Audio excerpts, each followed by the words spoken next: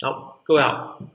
呃，我们今天线上讲座呢是来探讨，呃，还是延续之前手机里的 on 处理器。那我们今天想要探讨的议题是在虚拟化技术以及它相关的应用。那这个部分呢，请你点在我们连接左边可以看到说，一直多核心与虚虚拟化技术。这这两个词汇其实乍看之下好像是没什么关系，对不对？一个是一直多核，那另外一个是虚拟化技术。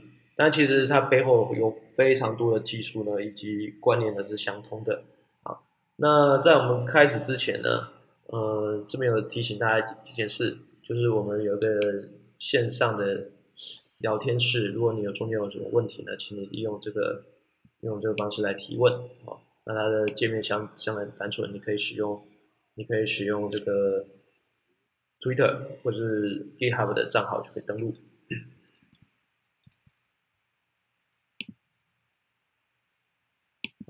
那我们我们今天的关键呢，就在探讨这个虚拟化技术哈。那我们来快速看一下我们想要探讨的的议题。那首先呢，我会来探探讨这个 on 的这个 big little 技术。那这个 big little 呢，基本上它是刚才提过，就是虚拟化技术的一个很重要的变现。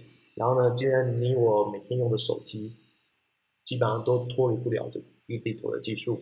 那 big little 如果真的要探讨，是一个非常呃漫长的议题啊，所以我们不打算在今天把它呃完整探讨过，我们只有提提到一些观念。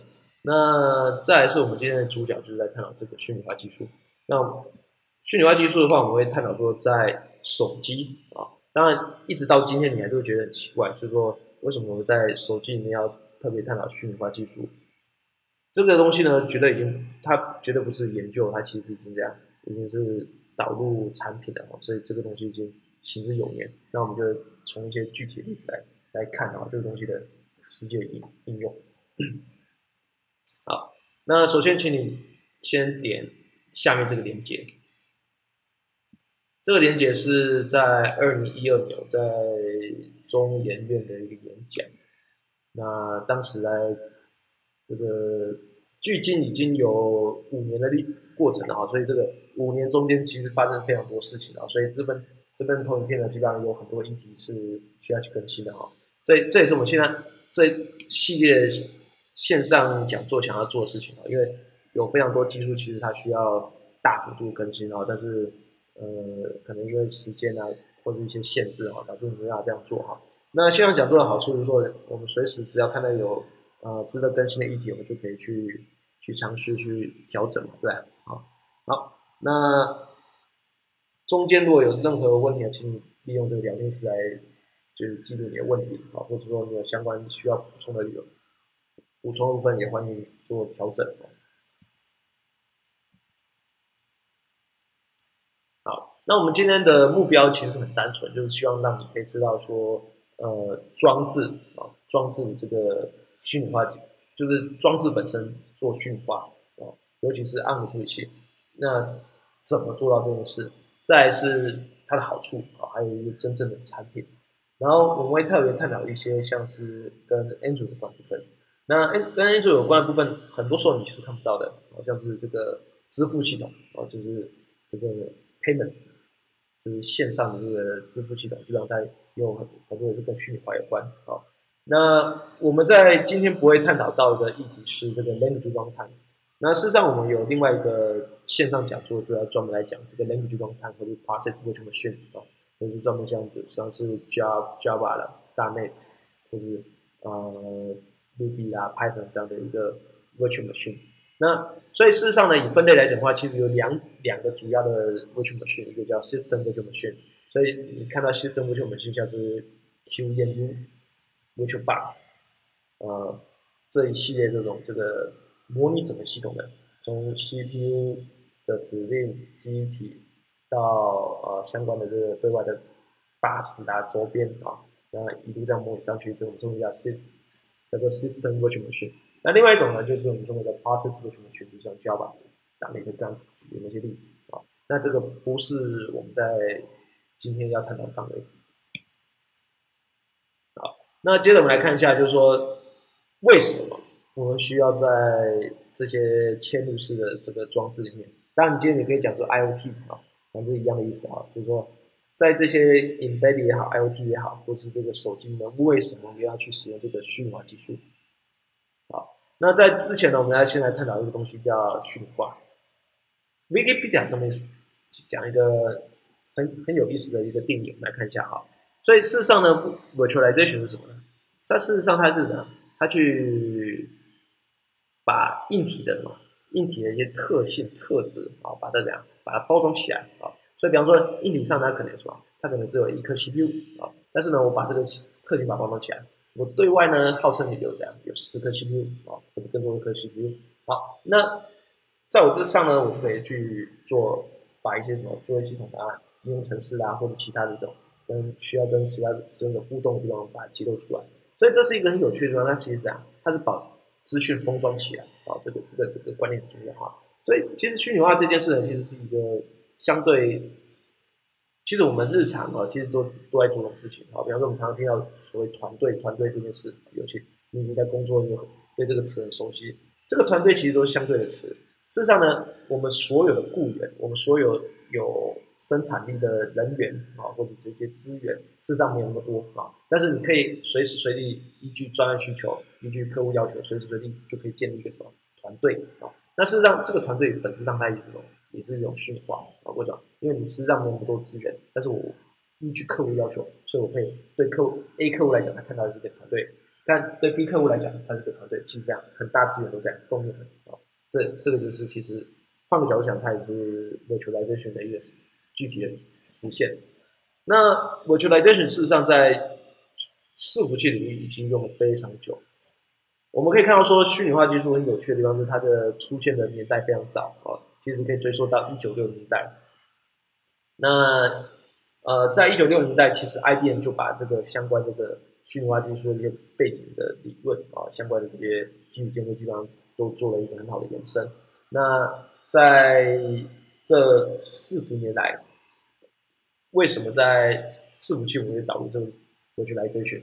那我们我们要知道一件事，就是说这个硬体啊，事实上它不是不是给电呃，不是插了电然后它就会持续运作。事实上，硬体会什么？硬体会有停机的时候，硬体会有故障啊。那就算硬体不故障，软体可能有故障啊。当然，包含里面的韧体啦，或者是。或是硬体的过热，或是出现一些我们没法解释的状况，所以依据之前呢，依据 IDC 的之前有有个统计，他是说呢，这个资料中心呢有百分之二十啊，就每年有百分之二十的机器呢会遇到软体或者硬体的这个缺失，导致它没办法呃完全服务的稳完全执行啊，所以事实上有百分之二十我们要考虑进去，但有时候你只是重开机，或者有时候只是。等久一点啊，就是他可能在时间内没办法回应，但是等久一点也许就回应。好，那这些统称都是缺失。那其实这些东西都是要妥善处理。那再来是什么呢？再来是我们现在这个伺服器这个对耗功耗啊，其实非常重要啊。那依赖风扇的系统，其实它不止耗电，而且你要考虑到一件事，因为它是机械性的，然后再是它有很多湿度啊或者什么的问题啊，会导致什么？导致它的。像湿气会可能会导致这个 PC 短路啊，那没办法达到它预期的年限。然后更麻烦的是说，这个比方说像 Google 的机房如果机房有专门的这个机器人啊，专门来干嘛？来抽换故障的这个主机板啊，或者相关的那个电子零件。然后更麻烦的地方是散热啊，所以这些议题都导致说我们没办法很有效去使用这议题。那但是我要我们之所以要盖这些资料中心，我们之所以要建这个伺服器的云端环境啊，那我们就是要。服务各式各样的需求，那忘了这些需求往往都是这样，呃，很可能都是呃一天捕鱼十天晒网，所以这导致一个很有趣的问题，就是我能不能在需求暴增的时候才把这些机器都打开？那平常时候可能进行维修啊，或者说甚至就是不供电啊来节省电源，啊，这是一个很有趣的事情。所以在伺服器领域呢，基本上最近行之有年。所以你就想象一件事：假设我总共要服务的是一千个单位，就是一台机器服务。服务一个单位的话，那我总共的需求是一千个单位。事实上，我不需要开一千个伺服器，不需要。往往呢，我只要开一百台甚至更少的机器。然后呢，我上面用虚拟化技术，就建立一千个 instance，就好像服务一千个单位一样啊。那有趣的地方是，当我这个需求增加的时候呢，我就逐渐把这个机器机器实体机器打开，然后呢，把这个 virtual 的 instance migrate 到实体机器上。所以这个对使用者来讲，它只是这样，它只是哎，是它存取时间好像稍微变慢，但是整个交易的过程，这个状态的保存都是这样，都是一致的啊。这个是在这个我们这个这个东西呢，就是在处理这个 workload 啊。那它其实更有效去提升这个伺服器的使用啊。那当然，这刚才第一个考量就就出现了。那再来一个议题是什么呢？如果说各位已经在工作，尤其在这个所谓做 IC 设计的公司，应该对这件事非常熟。就是事实上有很多 EDA tool，EDA tool 基本上它都会锁定某个 OS 版本。好，比方说要上 OS，可能都都会忘记这家公司对不对？上 OS，那所以它只能在上 OS 上面跑。那问题来了。你现在装的电脑可能就 Mac OS 啊、Linux 啊，或者其他作业，那你的上 OS 怎么办呢？你该不要搞一台这个，要去搞一台上的工作站，然后跑里面跑上 OS，然后只是为了跑 EDA tool。很多时候你家你可以直接用个 Virtual Machine 去把它这样，就是把这个系统它跑起来啊。但是这个就是 Legacy OS support。那最主要就要跑这些大型的啊，就是这种大型的或者重要的这个 third party 软体。那再来一个有趣的地方是什么？就是涉及到管理啊，这也是这从二零一二年以来 OpenStack 大行其道的一个状况。以 OpenStack 来说的话，我我们知道 OpenStack 最早还是源自于 NASA 的变化，就是你每天不是每天，就是你常常听到的 NASA 啊。所以以 NASA 来讲，它当初在开发专的时候呢，跟那个 Rackspace 啊有合作。那合作的过程中，建立一些管理软体。那 NASA 觉得这件事很重要啊，就所以就跟 Rackspace 弄搞了一个基金会叫 OpenStack Foundation，那把这些系统管理的软体啊试出来啊，那很快就获得许多厂商的这个共鸣啊。那 OpenStack 来讲的话呢，其实它常常会需要建立一些呃新的这个呃呃那个驯化的机器啊，那就是虚拟虚拟机器，然后你可以就做管理。那你可以去很那这样的话呢，我们可以去设定说，我可以。要求环境是比较松散的，或者比较严严要求比较严格啊，那你可以很很很好去控管啊。那再是最后一项，就是刚刚提过，就是 migration 啊，这个在我们在呃考虑到系统可靠度的时候，是一个非常重要一点啊，是是做这个 work workload balancing 啊，这个是在伺服器领域啊。那当然这个不是我们今天重点，我只是讲说虚拟化技术其实它已经存在，而且你每天都间接的去使用它。好那 embedding 呢？那这个就很有趣的哈。我们刚刚讲的那几项，好来快速翻一下哈。一个是 workload consolidation，然后在 next always 啊，呃，provisioning 啊，然后再 migration。然后有趣的地方是什么呢？里面有几点还是会用得到的。好，那第一个就是这个 workload。那我们你可能知道一件事，就是说我们的手机往往它不是只是一种 CPU，它可能这样。它是可能是运算能力比较弱的，跟运算能力比较强的啊，就像前面提到的 Big Little 这样的技术。那事实上呢，Big Little 呢，在今年也获得很大的一个调整啊，所以今年这个 ARM 宣布一个叫啊 Dynamic 啊，那 Dynamic 写法比较有意思的一点，我们来看看一下啊，就是 Dynamic，D Y N A，是结尾是 Q 啊，Q Q 字母啊，这个叫 Dynamic。那那像 Dynamic 来讲的话呢，它你可以认为它是 Big Little 的进化版啊。那这个东西叫 Dynamic，那我们等我们等下再继续探讨。好，那你可以看到什么事情呢？哎，这背后怎样也是需要这个虚拟化技术。我们可以强调这个，哎，我的任务本身是不是要要 migrate 从比较强的移到比较弱的，比较弱的移到比较强的啊？或者说整个系统需要暂时对吧保存下来啊？然后再是呃。里面很多有趣的地方就是个 license barrier 啊，因为事实上很多东西是它执软体执行是一个限制的嘛，所以其实其实你可能需要建立一个环境啊，去让这个系统可以运作。然后更有趣的地方是这个 legacy software support 啊，这个件事有趣的地方是，事实上 legacy software 比你想象中的常常常出现啊。哪些东西往往是那个 legacy software？比方说我们讲这个 payment 啊，对，呃，支付系统啊，像那种 DIM 啊，就是 digital rights management。像这种东西，其实很多时候都是 legacy 啊，但是你又非得支援它不可，因为它背后都涉及到大量的什么内容啦，或或是一些呃项目性的议题啊。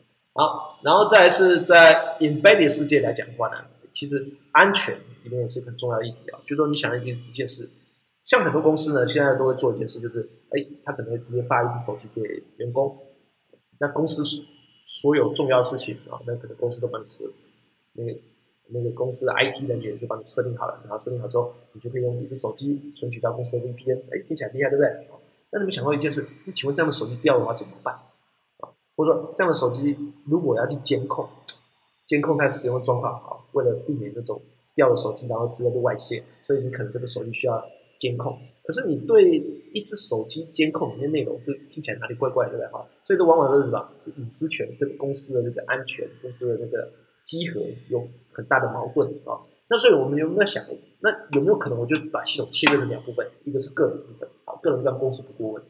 你喜欢用 Line，你喜欢在 WhatsApp 用什么东西，就把它装进去。那另外一部分是透过 VPN 存取到公司的系统，或者存取到一些呃需要管制的部分啊。那这个地方就全的监控啊。所以我呢系统里面呢，但是对使用者来讲没有感觉，它就是哎可能 App 就这样按一下就切换成呃公司需要 VPN 的服务，需要 VPN 的 App，那按一下呢又回到原本的啊，比方说那个慢的啊弹出一个讯息之类的啊。好，那所以我们来看一下，以这个示意图来讲的话呢，这个是从这个啊正上面 H 啊，在二零一年，那二零一年的那个 Keynote 呢是由这个呃申总申总在上面跟大家探讨的啊。那时候他列出几个情境，我就把它摘录下来。好，我们看一下第一个议题是什么，就是说我我们都知道一件事，就是说手机吸引的地方就是它其实它不只是有运算。它还有通讯啊，还有很多复合的议题在里面，所以手机它其实非常复杂，但是基本上我可以分两个部分，一个叫做 application processor，另外叫 baseband processor。Application processor 基本上很好懂，就是说相对来讲运算力比较强，可以去执行 Android、执行 Windows 啊这样的一个通用作业系统的一个处理器，所以它称为叫 application processor，简称叫 AP。那另外叫 baseband processor，baseband processor 基本上就是说这上面可以做这个 2G。3G、4G、LTE 或者 5G 啊，这种这种通讯的这个专门来做通讯啊，那专门在跑这个实实际上它就是 modem 啊，那执行这些东西的我们称为叫 basic processor，缩写叫 BP。好，那有没有可能呢？AP 跟 BP 啊，过去呢，其实这个东西有趣啊，我们讲件事，哎。过去怎么实做这件事啊？事实上呢，其实是它两个不同的处理器，你从名字猜出来，对不对好，所以我们就猜，开始猜有没有可能，我们让这两个处理器是变成同一个，合为一。那你要知道一件事啊，就是说，像你画面中看到这个，啊，这个长的手机，手机长的 Samsung 啊，这早期，这是早期，其实也没多早，这个大概就是大概七八年前啊，七八年前很多手机都长这样，其实都还算蛮优雅的啊。不过就是你你今天观点就觉得这个东西很奇怪的啊。好，以前这种手机呢虽然长得漂亮，但它的量其实很惊人。我们要知道一件事，Nokia 啊，Nokia 一直到今天，它的这个低阶手机的量都是非常惊人，都是都是都是上亿的哈，年出货量都是上亿的哈。那呃，我们要知道，所以我们从这个议题来去想哈，如果呢，你可以把 Application Processor 跟 Baseband Processor，它本来是两颗不同的 CPU，那当然以材料来讲呢。因为你看到任何数字乘以一就很大，对不对啊？你不用跟巴拿马总统有私交啊，都可以知道这个量很大啊。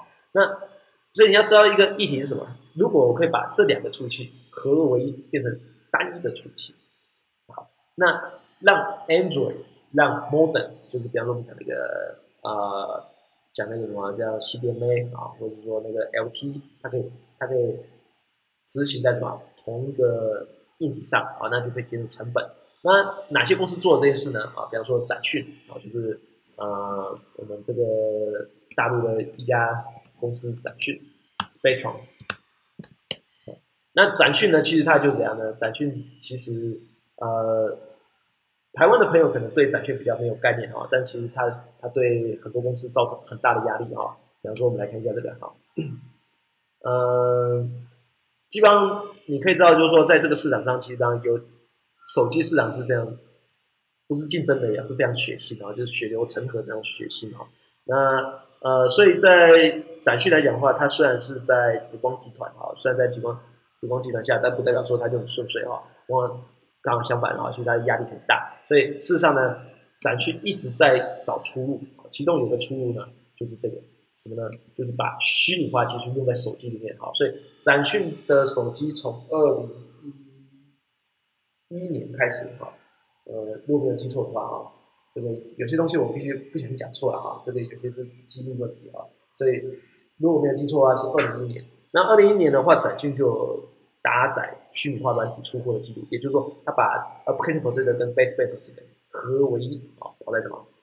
就是让上面的 mo 那个 Android 啊，或者是那个 Modem 啊，或者当然可能不是 Android，可能是其他通用作业系统跑跑在同一个处理器上。那不过这边处理器是讲是这个啊 Multi Core 啊，我们要知道一件事，就是 Multi Core 来讲的话，是比方说我们讲 SMP 啊，那 SMP 是这是什么？它是对称的多核啊，所以事实上呢，你可能有 Core One、Core Two、Core Three、Core Four，那基本上呢，它这个封装能放在一起啊。那它对内呢，它有这个 Inter Processor Interrupt 啊，叫 I IPI 啊，那这个基本上就可以这个通讯啊。但是呢，它里面呢使用的是相对是很有效率的，为什么？因为 Cache 啊，这表示里面都有设计 Cache Coherence 啊，然后最重要的这个四个 Core 先通过 Cache，再怎样，再通过 Main Bus。然后存取到各式各样的这个资源，可是呢，呃 c u n y person 跟 baseband person 呢往往它用的东西完完全不同，就是 CPU 架构完全不同啊。然后它的 cache 绝对不可能共用，然后呢，它的 bus 又可能这样独立还有 bus，然后它的 interrupt、甚至有完全不同的设计啊。所以注意到啊，这个所以这个这一种机制呢，我们称为叫 hardware consolidation 啊。那它它就可以把它这个把 application 是这个跟 baseband 和这个 consolidate 成一个 multiple SMP 的 processor。好，然后另外一个是什么呢？另外一个第二种类型呢，就是这个第二种类型比较好懂，就是说你在一款硬体上执行两个作业系统。好，那这两个作业系统怎么搞头呢？我们想一下啊，我们想一下刚才抢情境，对吧？你就想象我我左边跟右边都是 Android 啊，那旁边都是个左边跟右边都是 Android。那一个是什么私人用的，一个是什么公司用的。那所以公司用的来讲的话，公司可以全程也去监控你的这个运作，但是只有公司用的部分啊。那你自己用的呢还是跑得好好的啊。那另外一个什么呢？另外是说，你有没有想过一件事？手机要怎么做扫毒？如果手机都已经中毒了，你在中毒环境下怎么扫毒呢？所以你看到，如果你回想到你以前如果用过个人电脑啊，回到那种一九八零年代、一九九零代用用个人电脑的时候啊，当然有些有些听众可能没有经历过那个年代啊。那个年代，如果你中毒的时候，你必须要怎样？你必须要重开机啊，切换到一个比较单纯的环境，对，这道理简单。如果你已经进入了重度环境，怎么扫毒啊？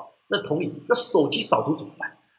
手机扫毒是个麻烦的，因为你不能为了扫毒，然后手机原本的功能都不行，对不对？你好歹要让扫扫毒功能可以停下来啊，你好歹要可以接个电话，你好歹要保持网络畅通啊。所以这是一个非常困难的问题，就是说，如果你如何对一只手机里面做扫毒？所以往往呢，实际上做法是就是像画面中这样，我就其实有两个系统，一个呢是普通系统，一个是怎样扫毒用的，它可以去侦测另外一边有没有问题，有没有异常状况。如果异常状况，想办法把它阻挡。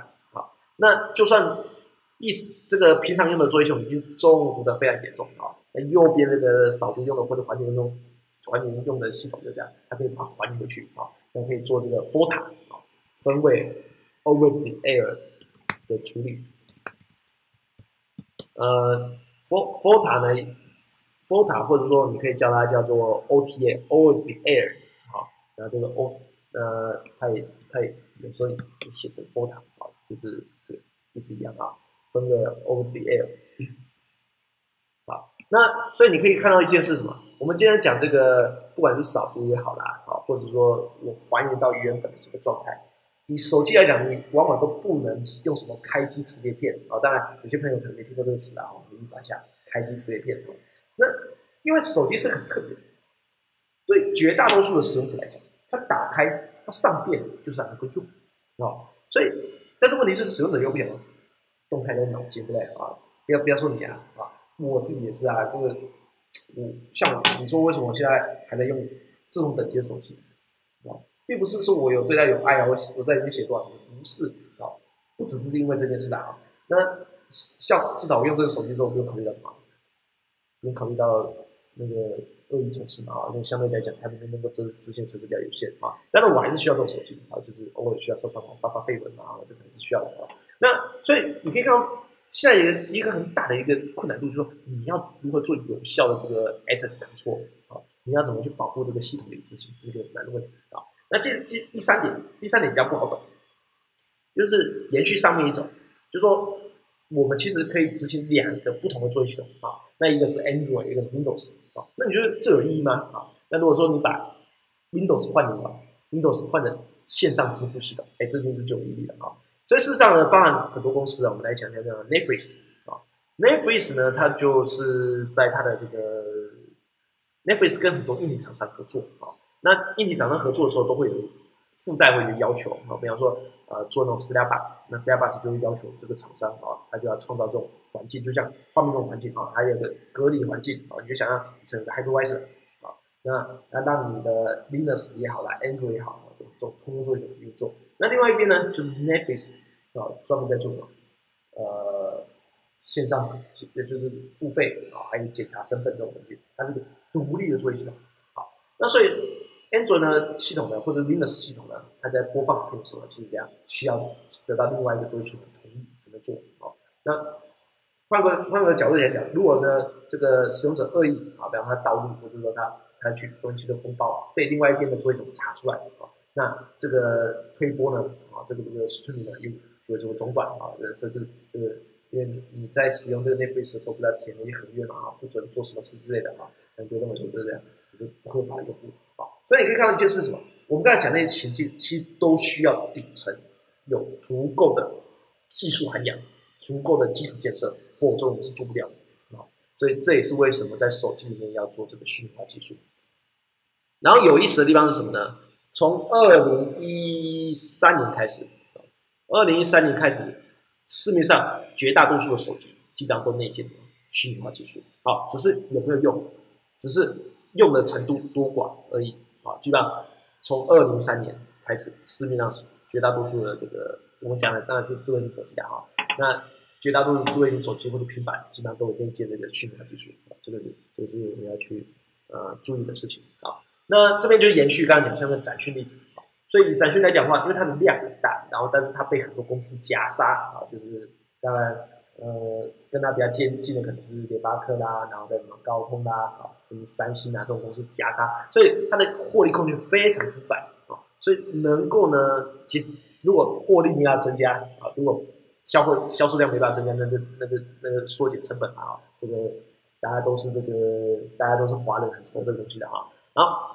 cost down 不可耻，啊，真的 cost down 不可耻，因为关键在我们能不能做出好的产品，好，那你可以用更低的成本，然后更稳定，做出更稳定的东西，这是算厉害的，哈。那所以以这个呃展讯来讲的话，它的做法是这样，它就是它在先先用一个什么，用一个单一封装的啊这个 CPU 啊，那就是呃可能是 SMP 啊，那上面就执行 Modern 啊，那 Modern 就把 GPS 啊、GPS 啊、UTS 啊，啊。那另外一边，N 就是像 Linux 或者 Android 这样的系统。好，那另外一个例子很有趣。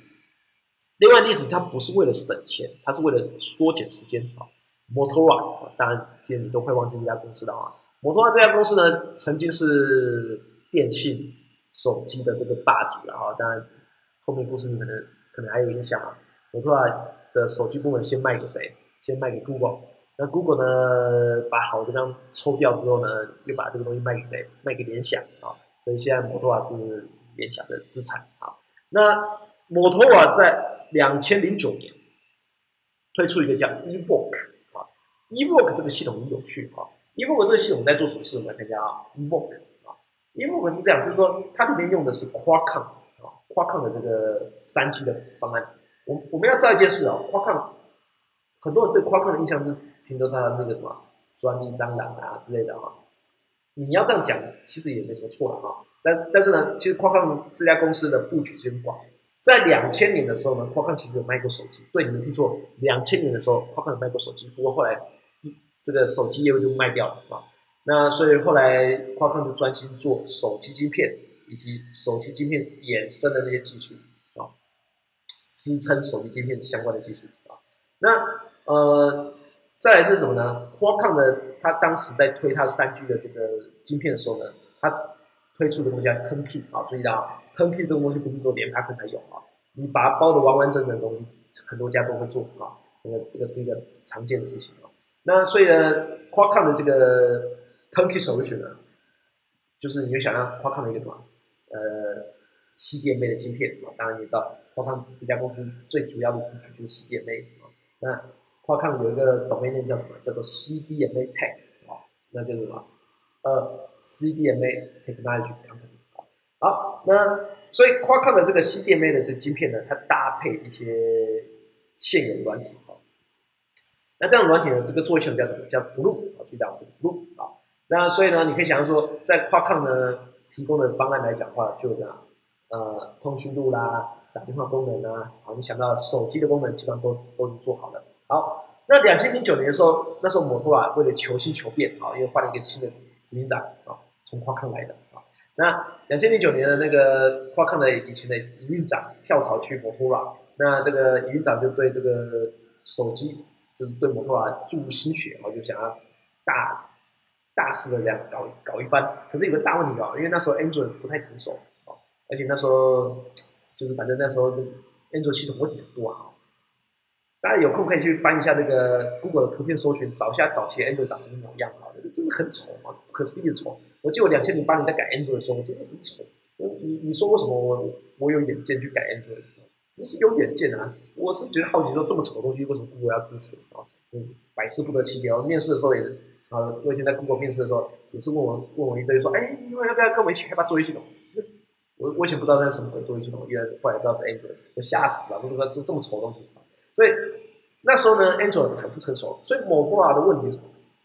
要把 Android 这样不成熟的东西改到成熟，很花时间的啊。但是两千零九年，摩托罗拉很需要一个 Linux base 的一个 smartphone 啊，因为那时候大家知道，哎，Linux 这样去的东升，而且 Linux 上有很多很棒的东西。为什么要 Linux？因为 Linux 上有浏览器。你为什么要 Linux？因为 Linux 上有一堆 open source。你为什么要 Linux？因为 Linux 意味着什么？open 啊，所以尤其公司要。改造形象都重要都要接接纳 Linux。好，那问题来，Linux 上有这么多好好棒的东西，可是问题上就不能打电话。至少在两千零九年，Linux 上没办法打电话，Linux 上很多基本功能是做不出来的。好，所以当时摩托罗拉搞了一件很酷的事情。啊，他的玩法是这样，他呢去找一家公司叫做 Open Kernel Lab。啊，你可能会，如果你听过之前之前的讲座，就可能知道我常讲这家公司。啊，这家公司呢在国外能见度也许不是很高，但是它在技术的那个。涵养是非常之高的啊。那 Open Kernel Lab 它最早呢是在两千零六年成立啊，然后它是由这个西南威尔士大学的研究人员啊就是创立的啊。那后来这家公司在二零一二年卖给这个 General Dynamics 啊，那 General Dynamics 是呃美国美国的军火商啊，对，没听错，军火商啊，所以。Open Kernel Lab，它就跟很多公司合作，啊，帮像展讯啊，还有帮什么摩托罗拉合作啊。那摩托罗拉合作是这样，就是说 Open Kernel Lab 提供一个 Hypervisor，这个叫做 OKL4 啊。那这个 Hypervisor，那让你可以执行两个两个作业系统啊。那一个作业系统是执行 Linux 啊，就为了跑浏览器嘛，为了跑那些很酷很炫的新玩意儿啊。然后另外一个什么 Blue 啊，就是说 q u a l c 原本的作业系统啊。然后呢？问题来了，那画面怎么显示？哇，这东西实在太神奇了！好，我我们可能都知道，就是我们就是都知道一件事，就是 Linux 上有个东西叫 Frame Buffer 啊，你可以想象它就它就是一个缓冲区啊。那这缓冲区可以做什么事？你在里面写资料，那荧幕就跟你写字什么？好，这个东西叫 Frame Buffer。那当然，Frame Buffer 可能不止一个，还可以切换啊，还可以叠合啊，这个叫 Frame Buffer。然后，那所以这个 Open Kernel Lab 呢，跟摩托罗拉合作做一件事很有很有创新的事情，实在太有趣了啊！那他是做什么事呢？因为 Blue 它是夸抗器，做为系统它很完整，它所以它本来就可以打电话，本来就可以接收通讯录啊。它把这个画面透过什么？透过 Hypervisor 的 IPC 啊，就是跨越 Virtual Machine 的 IP 系，然后这样把它后面导到了导到 Linux 上面去显示啊。那按键还是照按啊，所以使用者来讲，哎，它就是这样哦，切换到打电话的应用程式啊。但是其实呢，打电话应用程式是 Blue 啊。那它上网的时候呢，它跑的是什么？作业系统是什么？Linux 啊，是这样子就做显示的啊，所以这个也是一个一个很有趣的事情啊。这个就是这样，它让 Legacy 的 software 可以运作啊，所以你看到手虚拟化。那这东西卖多少只呢？卖了很多只啊，你可以去查一下。那类似的状况呢，不止在摩托罗拉啊，像那个 Sony Ericsson 在零九年也做类似的哈，那类似的这个尝试。不过后来随着 Android 手机的这个成熟，Android 技术的成熟，基本上呃大部分公司都不这样搞了，我觉得这个维护太累了啊。好，那另外是什么呢？另外就是 Canonical 啊，就是 Ubuntu 背后的公司 Canonical。那之前跟 VMware 做一个有趣的 demo，它的 demo 是这样啊，就是你想象一只手机，一手机啊，那我呢，我做什么事？我就我就插在一个充电座啊，一个一个一个充电座上。那充电座上呢，它背后有一个有个 Micro HDMI 啊，那这个 Micro HDMI 有什么搞头呢？就方便说这这边有一条线啊，这个东西有什么搞头？当我插在插在充电座的时候，手机在充电的时候，因为手机运算能力很强，所以它里面可以干嘛？它可以跑 Ubuntu Linux。帅气的地方是什么？哎，所以你就可以手机插在你的桌上的时候充电，那你就可以用里面的 Ubuntu Linux 干嘛？可以收 email 啦，啊，可以来写 Android app 啦，啊不是啊，就是可以来做一些桌面用的用啊，因为很多事情还是在在那个桌面里面用起来比较爽的。比方说什么，比方说进办公室啊打嘴炮啊，对不对？啊，什么什么那个形式力啊，那手机看还还是太小哈，所以说要去做一些。呃，远端桌面这种东西啊，远端桌面手机当然可以用了，但是画面实在太小啊，你操作起来不习惯啊。那所以这件事情很有趣，它是创造一个一个 seamless 的一个什么 handover 啊，所以一个很有趣啊，就说一个手机里面呢，它跑了 an Android，又跑了什么 Ubuntu 啊，要跑两个做一些，但是对使用者没有感觉，它只是哎插上去的时候就可以用另外一个，比如跑 Ubuntu 再跑远端桌面，那。呃，后来呢，这个同样又是 Open Connect 啊，所以你要知道，手机虚拟化的世界里面，你会常常会看到 Open Connect 啊，或者缩写叫 O OK Next 啊，那它的产品叫 O K F O，所以常常会看到这些词啊。那这个东西是在呃，我想想这什么时候导入的，在二零一二年啊，二零一二年由神送跟德国电信导入的一个一个方案啊。那这个方案是这样，就是说。呃，像德国电信，因为我们我们知道一件事，就是说现在有很多企业，它其实它也有非常多办公室，这不足为奇哈。企业之所以为企业，它是一个非常大的一个，它其实它本身就是一个经济体。那它有非常多办公室，但是有趣的地方是什么？呃，因为有很多外包人员，然后有有的工作形态也改变了，所以后来有很多公司，比方说它可能同时有新加坡、有北京、有啊巴黎，或是有这个。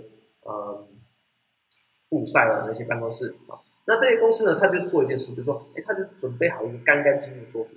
好，那你因为你常常你做一个雇员，常常需要开会啊，那可能在不同的地区 travel 就旅行啊，或者是重新这个重新去调整一下位置啊。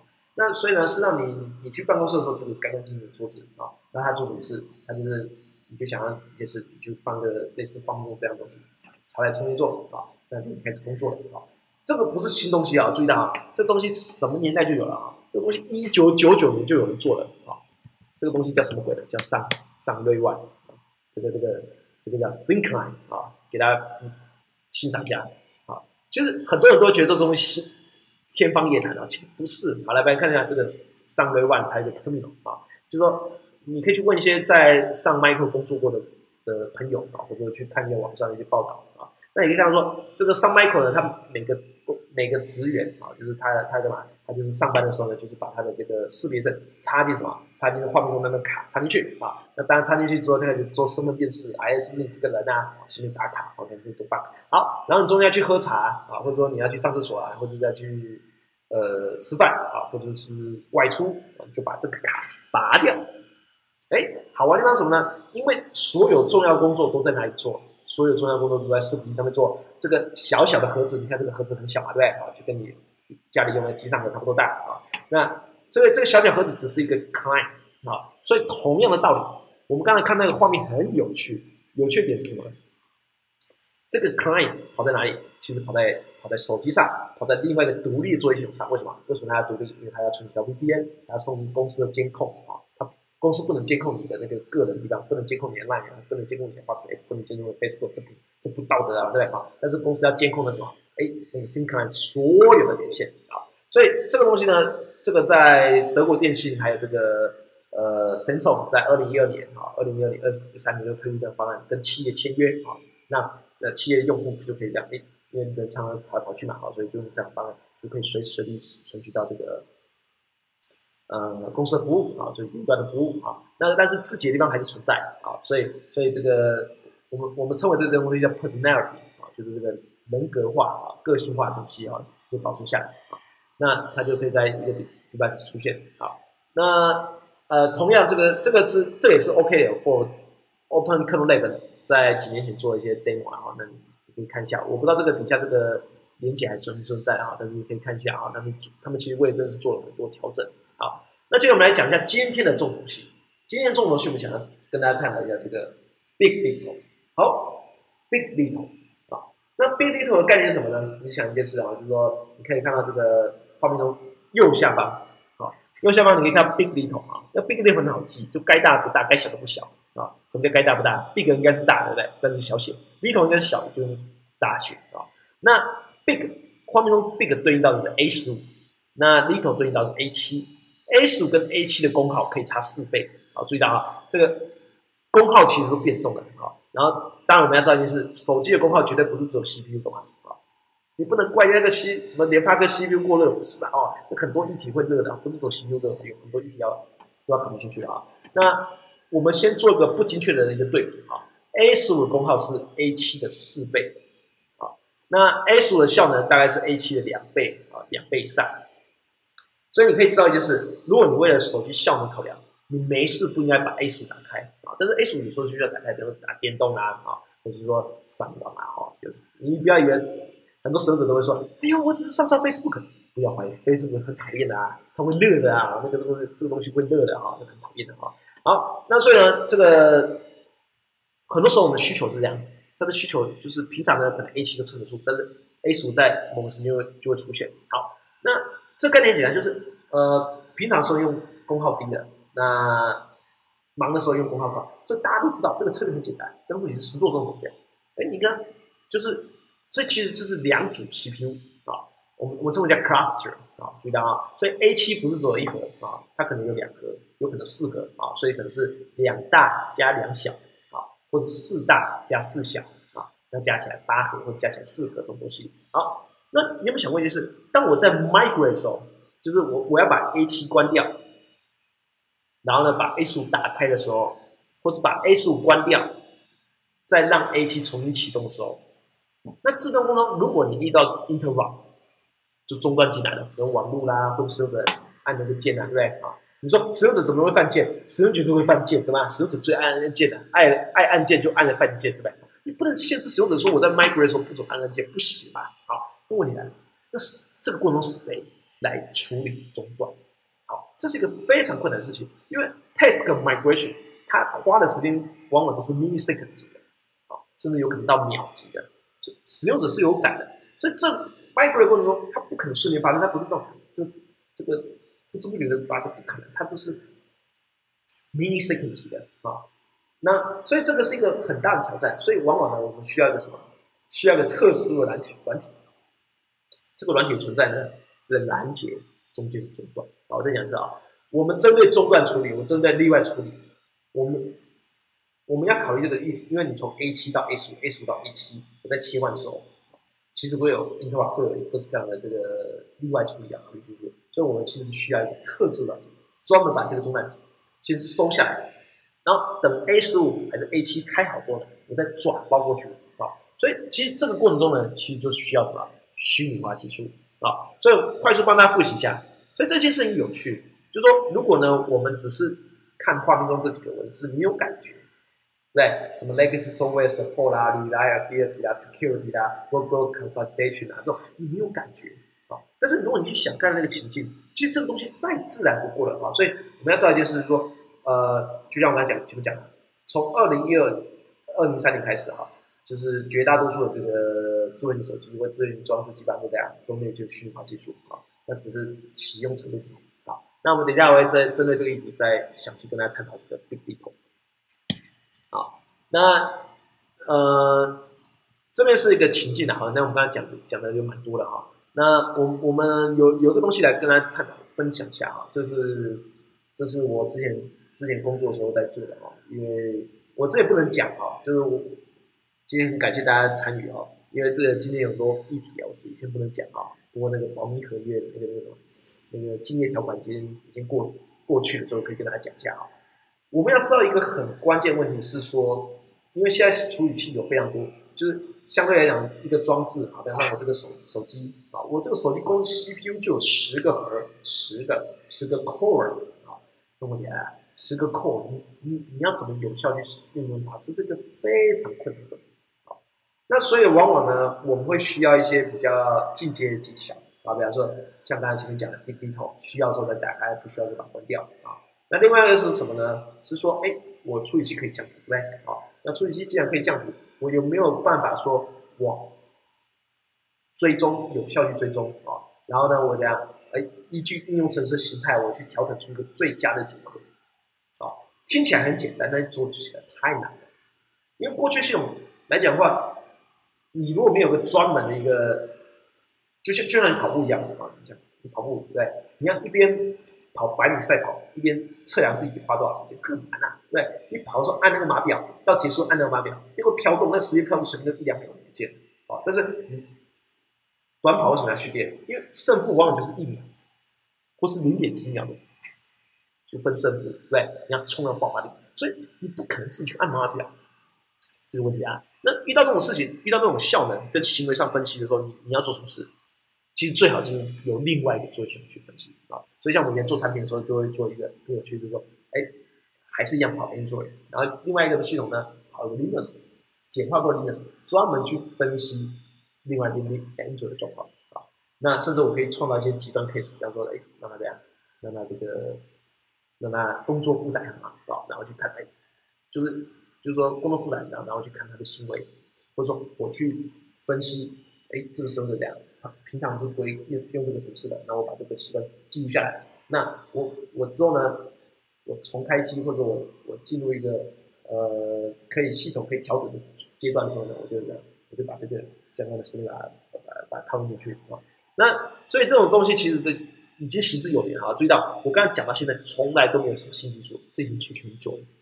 好，注意到这边投影片什么时候出现的？这边投影片是二零一一年。啊，只是有些案例我我当时不能讲，那时候在中医院演讲的时候没办法讲，好，现在过了五年终于可以讲哈。所以这个我，所以你要知道一件事，这些技术早就发生啊，而且已经有非常可观的出货量。所以接下来我们去想，我们对这个案的这个虚拟虚拟化哈，其实我们我们应该要保持哪些呃态度观点啊，去去去去理解它啊。就是就是接下来去分析的啊。好，那我们先休息一下啊，我们休息到休休息到两栋五五分。好，那如果说你有问题的话呢，欢请你利用这个讨论区啊留言啊。当然，最好是相关的问题啊，如果有点关系的也好啊。休息到两动五分。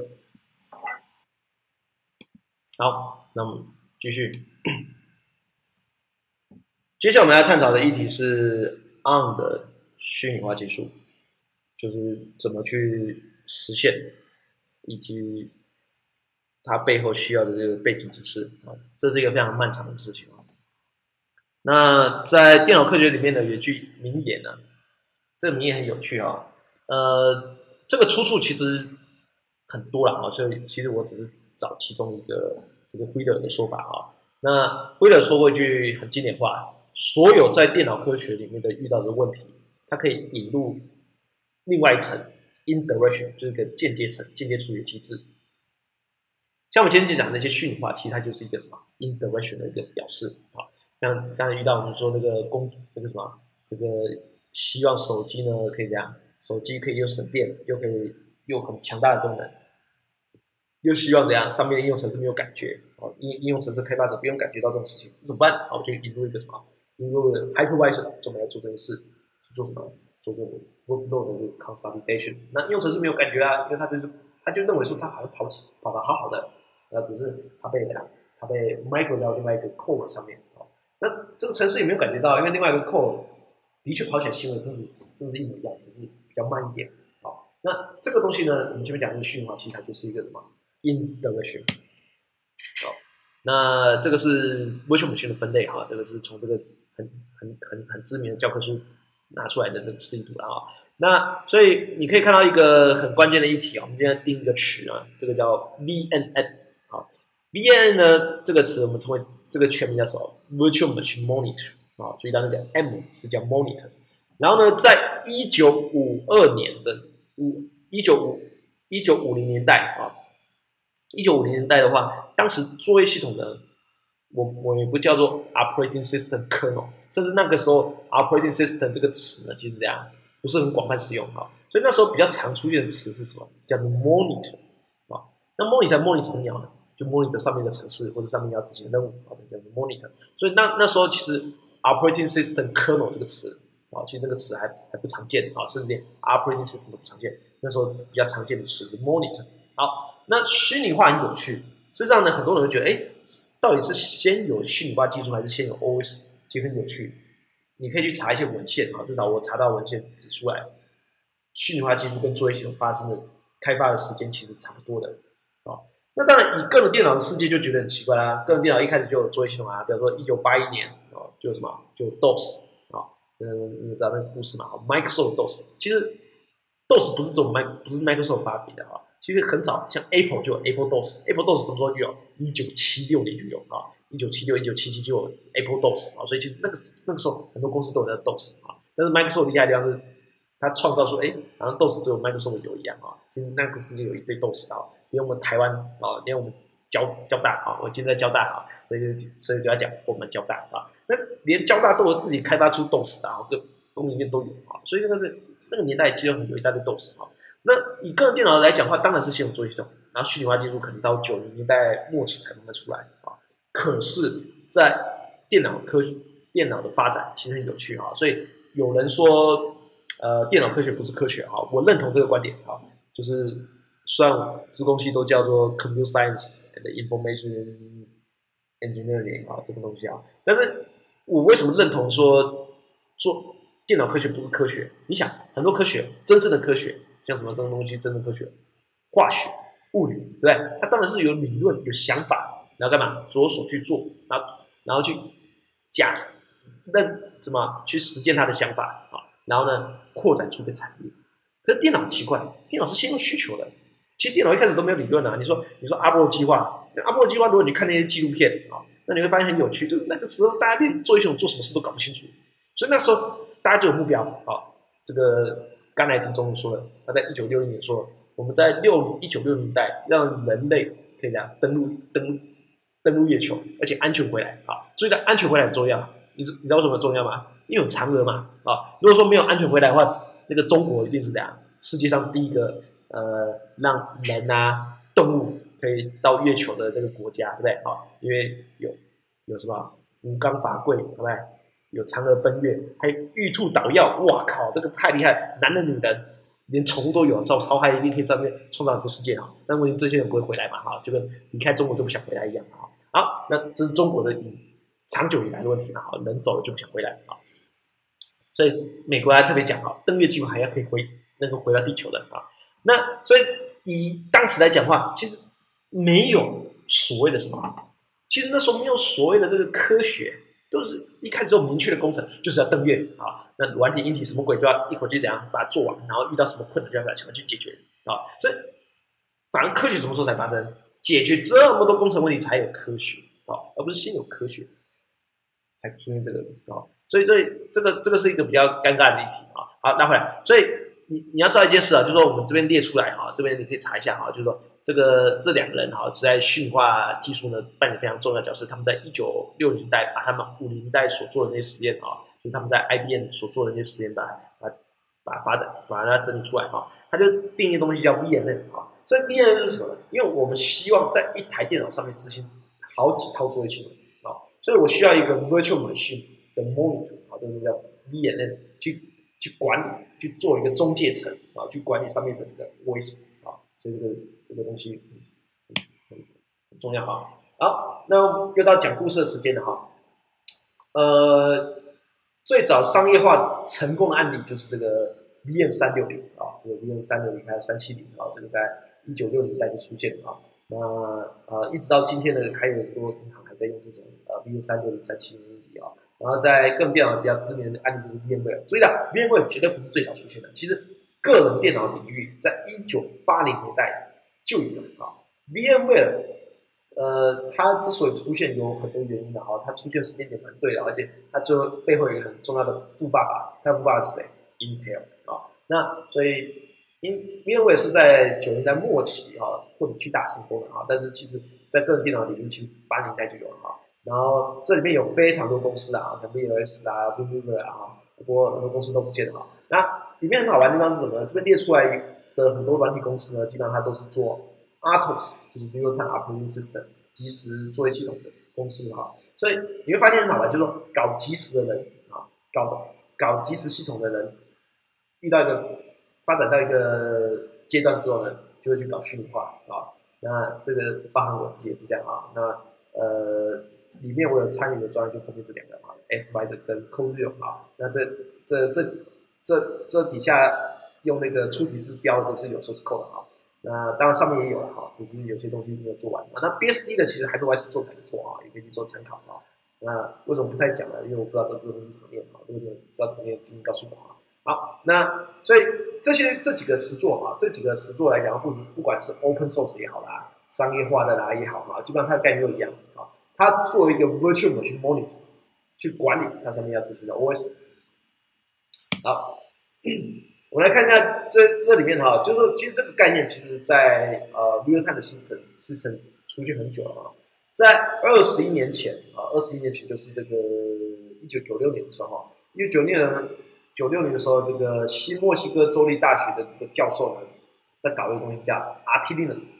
R T Linux 是什么？就是在二十一年前呢，那时候 Linux 还有多限制啊，所以 Linux 要达到这个哈哈瑞碳啊，就是这种应急时的，基本上没有没有能力的啊，因为 Linux 太多限制货币。那那那时候，但是那时候大家想还是想要 Linux，因为 Linux 这种丰富的城市啊，所以觉得啊，你看啊，你你这个系统有多限制没关系，让人家觉得是这样有朝气的，有丰富的城市资源啊，就是一个很重要的事情啊。所以当时 R T Linux 的玩法是这样，他把 Linux 掏空。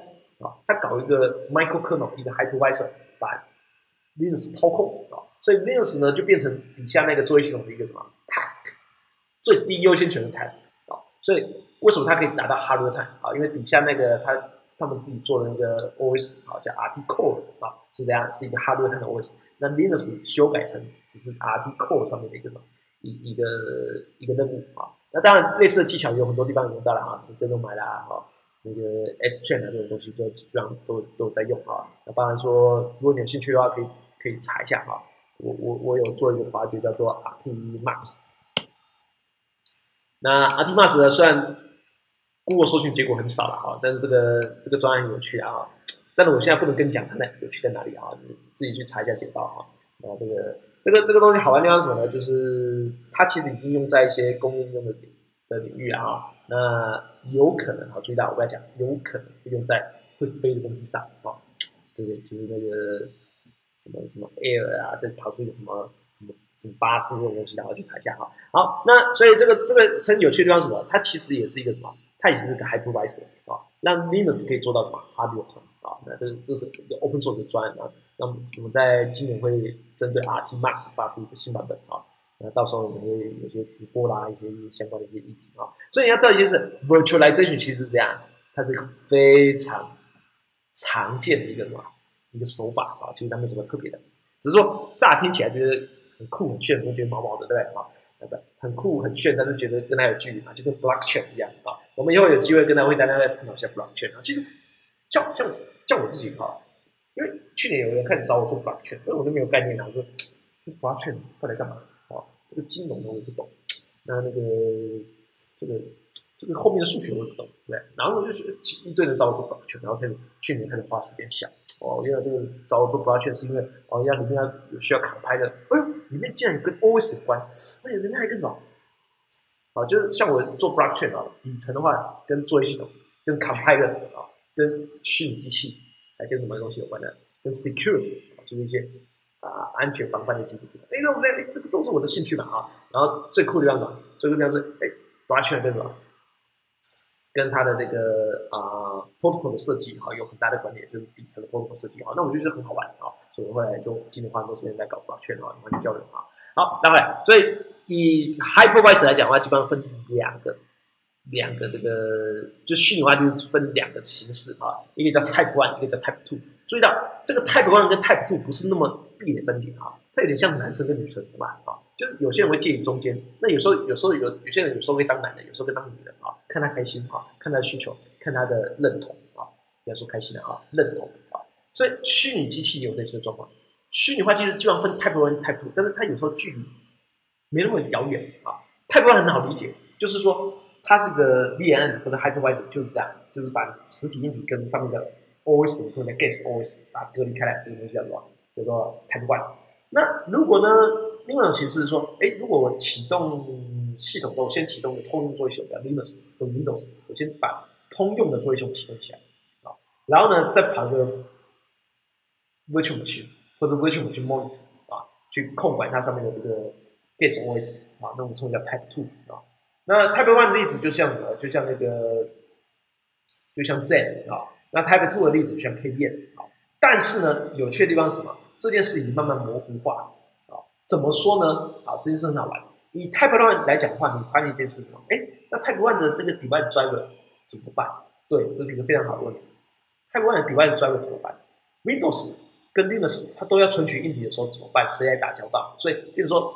里面的 Hypervisor 跟 DNN，以 Type One 来讲话，要考虑的议题非常多哈。我说，荧幕大家都想要更新荧幕，网络大家都想跟从网络上取得公包啊，发送公包，所以我该怎么协调啊？那所以 DNN 呢，可能它可能要设计一个机制啊，某个 Guest OS 它可以使用，另外一个不能使用啊，或者说我有一个 Multiplayer，把它合成起来啊。所以为什么你看那个 project 叫 Artimax，这个 Multiplayer，好，我把它合成起来啊。那所以其实这会导致一个很大问题，是说，基本上如果说左边跟右边都跑 Linux 的话，那依然会变得很复杂啊。所以后来一个很好很有趣的玩法，后来也就有人玩法，像那个 Zen 的话呢，它也可以跑有点像这样啊，就是这样，它有一部分的元件呢，可以可以可以那个什么，可以可以共用啊。那这件事呢，就是说它把共用元件先把它开起来，然后再把 Hypervisor 启动起来啊，所以先开一个像底下这样共用的一个通用的作业系统啊。那所以你上面不管是哪个 Get Source 要存取的时候呢，啊，它就可以通通存取到那那个通用作作业球上，啊，那同理在 KB 来讲的话，为了效能啊，因为一般来说 Type Two 来说，一般来说它的效能比较差啊，因为它不能直接存取到硬体。那 Type Two 为了改善效能呢，它干脆启动一个特别的系统啊，这个特别系统可以干嘛？可以让 Gas 文直接存取到硬体，这样效率更好。哎，所以发现 Type One 跟 Type Two 它的界限慢慢模糊了哈，但是所以。呃，我们一般怎么区分呢？一般来说就是说，先启动谁啊？如果是先启动通用作业系统，这个叫什么？叫 Type Two 啊。那如果说你不不需要先启动通用作业系统的话，我们就 Type One 啊，这是一般的那个分法。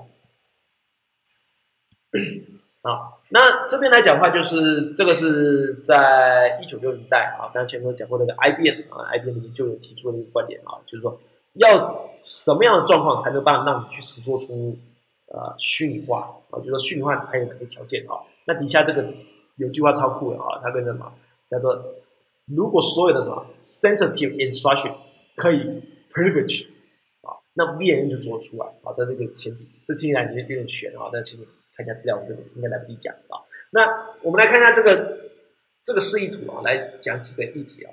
那这边讲的例子是以啊 IA 三的，就是 Intel 架构的一个 X 八六三十位的。那个版本来做示范啊，那我们那在那个 X 八六就我们我们讲讲讲讲简单一点叫做 IA 三的啊，在 I 三二上呢，它是它的 SS control 呢是 Ring 啊，就说里面最里面那层叫 Ring Zero，然后外面也叫 Ring One 啊，然后 Ring Two Ring Three 啊，那基本上数字越小，权限越大啊，注意到啊，数字越小，我能够做的。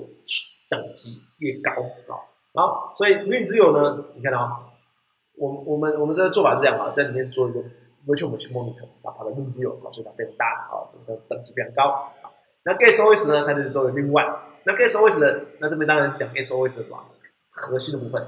那如果是 Guest OS 上原本应用程序怎么办啊？就跑到这个这个 Win Three 啊，所以基本上呃，可以看到这个等级，等级是吧？就是这个呃，VNN 跑在最高等级，好，那一般的车是跑最低等级。那如果呢没有 VNN 的时候呢，那一般的作业系统，比方说 Linux，它跑在哪个等级？它跑到 Linux 然后，在 i 三都是这样啊，所以 Linux 跑 Linux，然后 Linux 跑是吧？跑这个一般的城市。好，那所以你可以看到，哎，VNN 进来之后呢，我就把 Get 手往上推，也就是它等级就下降。它往往从那个等级高的 Win Zero 推到往 Win Win One 啊，那所以你可以看到一件事是什么？你大概可以理解这件事啊，就是说这边涉及到这个 Privilege 是这样子的，就是说一定要有些印刷就可以这样，它的等级可以可以被改变啊，那这个是一个很重要的观念啊。那另外一个做法是这样，就是说因为左边那个方式看起来是 OK 的，但是它的代价其实很大啊。所以看到像 Get OS，它如果要存取硬体，它要先通报 VNN，啊，当过兵的朋友都知道，你做事都要干嘛？要逐级回报。比方说，你个你个菜菜逼八的小兵，对不对？啊，你要跟谁报备呢？你要先跟跟谁报备？排长啊，那排长报备。那排长通常也是小，其实是小，其实也是也是等级很小的嘛，就也有可能是 EV 的那个那个那个军官嘛，啊，就是说。就这这这就是最低等级的军官，所以他其实也不能做主，他不能做主干嘛？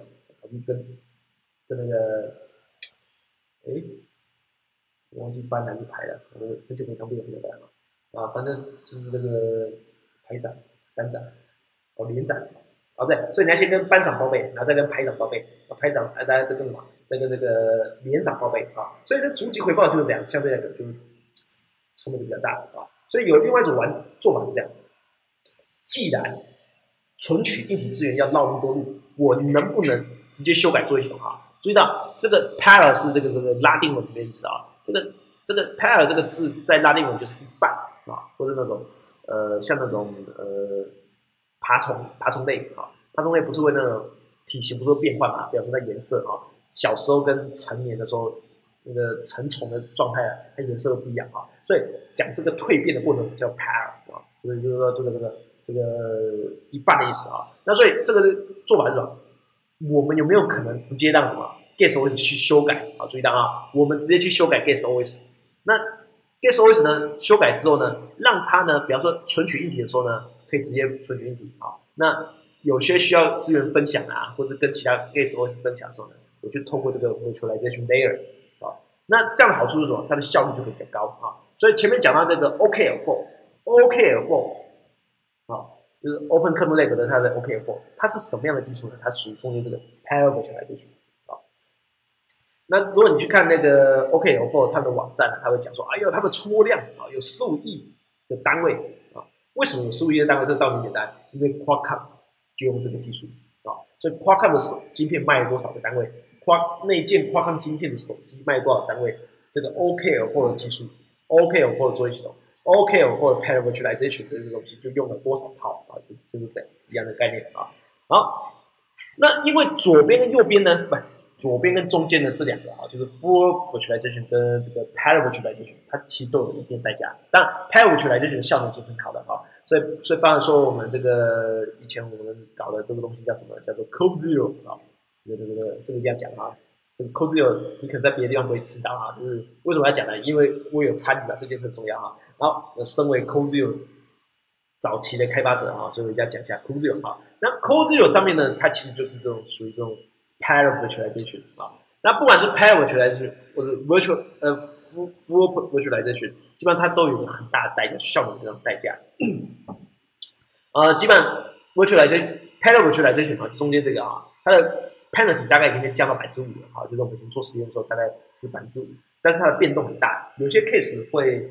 呃，只有百分之五，有些 case 甚至可以刷百分之一，但有些 case 可能会 slow down，可能会到百分之五十，啊，它变化很大，但某些 case 还会变化，啊，这神奇吧，对不对？所以大家你大家去看一下科技有，看我科技有那种感动，对，好呀，怕你看我自己跟我说你给你看，哎，这个这 OS 实在是做的超棒的啊，对不对？那这不是自吹自擂啊，不是啊，就是说这里面很多东西可以去去思考啊，好。所以这个欢迎欢迎来交流一下啊！那我们在今年暑假哇压力很大，好了，今年暑假快快快发生的哈！好了，应该说今年年底之前啊，今年年底之前我们会发展一个发布一个新的这个 hypervisor 哈，跟 Cosmos 是有点关系的哈。好，那因为呢，不管不管是用哪一种方式切入哈，基本上纯粹软体的方案其实都是效率是很差的啊。所以事实上后来有个东西叫 Hardware Assisted Virtualization，就是说硬体上呢提供一些指令，那这些指令可以加速你的操作。那基本上哪些东西是很关键的？第一个就是 CPU 的刷取啊，因为 CPU 刷取要考虑到这个前面讲的这个 privilege 啊，就是说其实我要让让让什么让 sensitive 可以可以有这个 privilege，就是所以事实上一 privilege 加被动态是什么意思？就是说它可以被赋予。等级啊，以前做一件事，比方说加法啦，啊，或者以前做什么，哎，切换机体啊，比方说你要把机体面清掉，哎，如果呢，它有等级，什么等级？就是你要清理，我也要清理机体，哎，谁什么谁有优先权啊？谁有没有这个等级？啊？优先权跟等级不一样啊，优先权有什么叫 priority，对不对？啊，就是谁可以先做啊。呃，谁可以先上车？好，谁要付股票啊？不，就是这个这个这个两个都这个例子很大啊，当然。那所以就说 privilege 在讲是谁能，谁不能啊？所以其实这个 virtualization 其实很关键的地方是，我 CPU 指令必须要能够设计成这个谁能，谁不能啊？那这种东西呢，其实 CPU 的指令其实它就是这样，它的语义啊，我们称为 semantics 就要改变啊。那另外的东西是什么？另外的东西是机体啊。因为我知道我们要做机体的这个切割、重新配置啊，其实它是一个很大的一个代价啊。那所以其实上，其实呃，虚拟化技术来说的话，如果要做 hardware assisted virtualization 的话，第一个是先做 CPU 处理器啊，第一代先做这个，第二代做 memory virtualization 啊，那第三代是做什么？做这个 device I/O 的这个这个 virtualization 啊。所以基本上你会看到 Intel 的 VDD 啦、VDX 啊、MD 有类似的技术啊，这样都在做这些事情。那当然，ARM 做这件事呢也有啊，只是说 ARM 做这件事有一件很酷的地方什么？因为 ARM 比较难做嘛，好，所以可以集大成。好，注意到这张图，这件事好玩的地方是什么？如果你不看底下的 VNN 啊，不看底下 VNN，你发现这上面跟原本的 Linux、跟 Windows、跟 Linux 一样，跟 Windows 一样，跟一般的作业系统之前是没有一样。对，也就是说，作业系统执行在什么？Get OS 执行在哪里？执行在最高等级的 Win 有。那一般的程序执行在最低等级的这个 Win 值，哎，那 V N 跑去哪里？V N 就跑出一个，好，所以你可以把它想成成的负一啊。每次想到负一就觉得很酷啊。就为什么很酷呢？因为你知道那个欧洲跟美国啊，那个电梯啊，哈，欧洲、美国、台湾啊，那个日本啊，那些电梯系统都不太一样啊。就是所以，比方说有有些地方是有 ground 啊，就是那个什么，就是那个。呃，我们的一楼啊叫 ground 啊，那哎，那有像哦，那个英国它就有负一啊，那美国呢可能可能写法就不同啊，所以总之是它不同等级，然后标识法不同啊。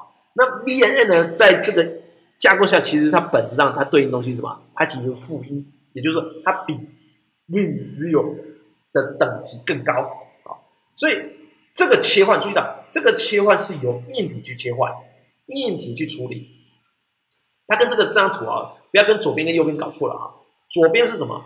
左边是硬体等给你不同的等级啊，硬体给你不同等级，但是所有的 exception，所有的这个 exception handling 都要有软体处理啊。但是呢，一旦我把这个 VM 搬过来的时候呢，这件事像是 CPU，像是 memory 它的 exception，其实这样很大比例是由硬体去处理的啊。所以，所以要要搞懂这两个差异啊，绝对不是把这张图往下推，然后就说叫硬 hardware assisted，我觉得。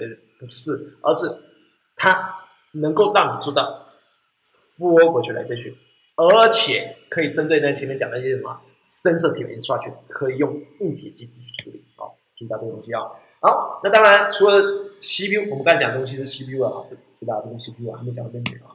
那除了 CPU 以外，其实很多东西要处理啊。你看还有什么 memory，I/O 啊，那这些花的时间都是非常大的啊。所以，比方说呢，你打用 Windows 打开那个什么装置管理员啊，你会看到很多这种很多这种不同的装置。那如果说你在虚拟环境，比方说 VirtualBox 啊，或是那个 VMware 啊，那你里面跑 Windows 啊，那你你打开那个装置管理员，那你有看到很多装置啊。那这些装置有什么？有这个 VM 啊，就是有这个虚拟机器所提供的。好，那呃，这份投影片呢的着力点是在，因为这份投影片是讲二零一一年啊。那在我那时候因为工作有接触到 online 啊，就是啊 a m four 啊 a m b five 的硬体，所以我花花一点篇幅来讲啊。不过以今天的观点，就是从这份投影片过了整整两，诶，这么几年，这个二零二零一一年东西到到现在了啊。那所以过了整整五一二年的东西，到现在整整五年啊，希望这个东西没有降低啊，没有打错过。哎，之前之前讲过讲的时候提到了。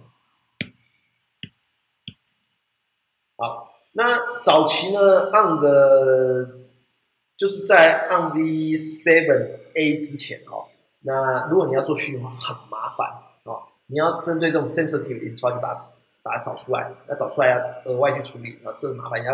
要要去改写程式嘛，真的非常麻烦啊。那但是 on v seven a 出来之后呢，就差异很大。on v seven a 出来之后，我们可以用很漂亮的做法，很有效率的做法来来做到哈。好，那我们前面讲到，就是说我们要让这些 sensor sensitive 刷群，我们要去改写它的行为啊。所以其实实际上呢，这个东西其实硬体需要一些资源啊。所以我们来看一下，在硬体来讲的话，比方说 Cortex A 十五啊。我们要知道一件事，A 十五跟 A 七虽然编号看起来差异很大，但是它的以 ISA 的层级来讲是完完全相同的。也就是说，A 七的程式 migrate 到 A 十五，或者 A 十五程式 migrate 到 A 七，它是 binary、它的 instruction 或者 CPU 的什么模式来讲，都是完完全相同的啊。然后呢，on 呢，为了要实做这个加速这个。就是做这个 hardware assist assistive virtualization，然后去搞一个东西 HIP mode，新增一个模式，新增一个特权模式，叫什么 HIP mode？那 HIP mode 对应到前面看得到的图呢，在哪里呢？它就在，就在这里啊，记得啊，就在这里啊。那注意到这边零一二三是一个什么 I 三个这样的标啊？那 on 的是它的术语不是这样啊，但概念是相似的。好，那我们再继续看下去。那如果呢没有硬体的资源的话，基本上有两种方案可以做哈。一个叫 binary translation，像 VMware 他们最早早期做的方式的话，那呃另外一个方式叫 hypercode 啊，就是把那些那些有问题的指令都把它换成系统呼叫啊。那它相对来实作比较容易。这个最知名的案例就是那个 Zen 啊。但是 Cortex A 十五出来之后，或者 Cortex A 七出来之后啊，注意到。A 十五跟 A 七它推出的时间是相似，所以我们把它讲在一起啊。Cortex A 十五出来之后呢，不管是 Binary Translation 跟 Hypercode，它的使用范围就大幅缩减，不是没有用，还是有用啊。这个有时候我们还是改写指令还是需要的啊。但是这两个东西的需求量就很低了啊，所以我们先跳过这一段。好，那我们接着我们来讲另外一个专叫 Xvisor 啊。你说 Xvisor 没听过，对，那为什么要讲啊？因为我有参与，哈，这够了吧？哈，好，那这个 X Y 的这个专很有趣啊，它它主要的开发者是一个印度朋友。那我为什么跟他搭上线？我想想，这么简单哦，就这样。我有一天无聊啊逛那个 GitHub 啊，就是，其实 GitHub 真是一个有趣的地方哈，就没事多逛 GitHub 嘛，哈。那其实蛮有趣的啊，哦，我就就就没事就打开那个 GitHub 嘛，然后看一下，哎，我说，哎，对吧？哎哎，这种这这种同事啊，哟，两分钟前有在工作，哎，不错不错不错，哎，哎，对不对对对？好，不错不错，好，呃，赞扬他一下，然后呢开始，哎，这个砖啊，有的名字看起来奇怪啊，什么 PIP Auto Auto 木啊，什么鬼的啊？哎，这个以前做的滑雪竟然还有人知道，太感动了，来偷看一下，有没有？就是刷一下存在感的，所以有时候第二本就这样啊，刷一下刷，哎呦，竟然有六十个按按按赞，哇，太感动了，你还不敢按按，对，好。那个 Papi 讲还不敢按，对啊，那所以这个因为而且这边而且这也也不知道哪里来的人在玩哈，那有时候看到这种名字啊，什么呃 Chumaco 嘛，对不对？可能该不是俄这个这个该不是又是什么又神奇的那个俄罗斯人吧？好，也许啊，好，那所以有时候你就是在里面看到一些有趣的专案啊，然后反正我就在逛啊，那逛的时候呢，就发现什么 X Y 人啊，这个就我也不知道为什么我就逛到了啊。那这个东西呢，就让我咦，这个东西有趣，为什么？它是一个 Type One 的 Hypervisor，那它主要的诉求的时候，它就是一个非常精简的。它其实第一代的 Hypervisor 超精简，大概就就是大概三百多 K 就做出来了。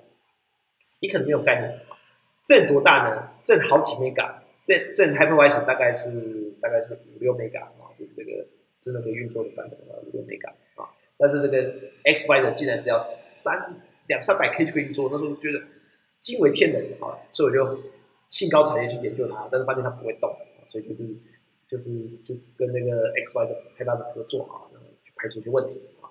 那我们来看一下这个 Xvisor 啊，那看 Xvisor 的时候呢，我们来看一下这个呃。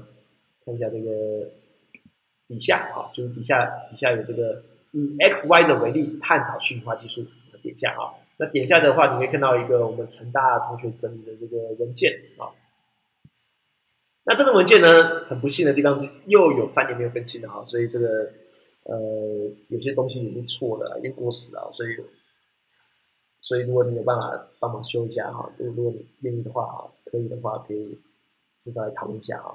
好，那不过我们来看一看一下啊，那这份投影片，呃，这份报告做什么事情啊？这份报告就把刚才投影片讲的东西，要把它把它比较比较清楚的讲过一次啊，就说啊，实际的运用啊之类的哈，就是所以我还有一些补充的资讯啊，比如说 S M P 啊，这个 Trust 之类的那些议题啊，到时候 Type One 啊，啊这种。好，那所以今天讲的这个，刚才讲的议题其实都有出现，而且里面还有附一些论论文连接哈。那不过里面有些格式哈，因为我们之前转换码单格式时候候有些错误了哈，所以你可以的话请帮我修一下啊。好，我们来看一下这个 X Wider 哈。好，那讲 X Wider 之前呢，我们还是要讲一下这个 on 的一些指令啊，就我们刚才图片跳过的东西啊，我们还是要讲一下啊。呃，因为 hypervisor 它会就是应该说整整体来讲虚拟化。我为了要实现虚拟化，我我要让原本比方说那个 r a n g e 的东西往下降。你注意到你你看到我的手势哦，我的手势是往上，但是我要说等级往下降啊。我把它推到什么？从 r a n g e 推到 r a n g one 啊，但等级是往下降啊，所以就要注意到就是这样往下降啊。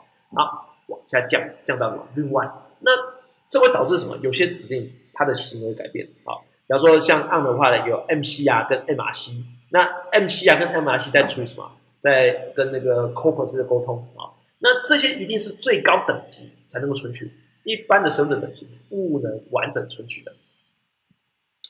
一般的使用者等级可能是可能是只阅读啊，阅读其中某几个啊，某几个栏位啊，那不能不能不能去改变它的字啊。所以这个东西其实需要最高等级才能做。那如果说你把它改的话，就会样，就会导致异常啊。那再是什么？再是有些指令呢，在什么？在那个 user mode 没有用啊。比方说 MSR 跟 MS 啊，这个是改变什么？特殊暂存器。那特殊暂存器我是存取在 user mode 是没有作用的啊。你怎么改都是对吧？只是喊的叫破红龙那个也不会破破红龙不来救你啊。那就是破红龙悲剧啊。好，那这个这个再是什么？再是这个 user mode 啊。那有些扣呢，在 user mode 呢执行会遇到不可预期的状况，比如说这个啊。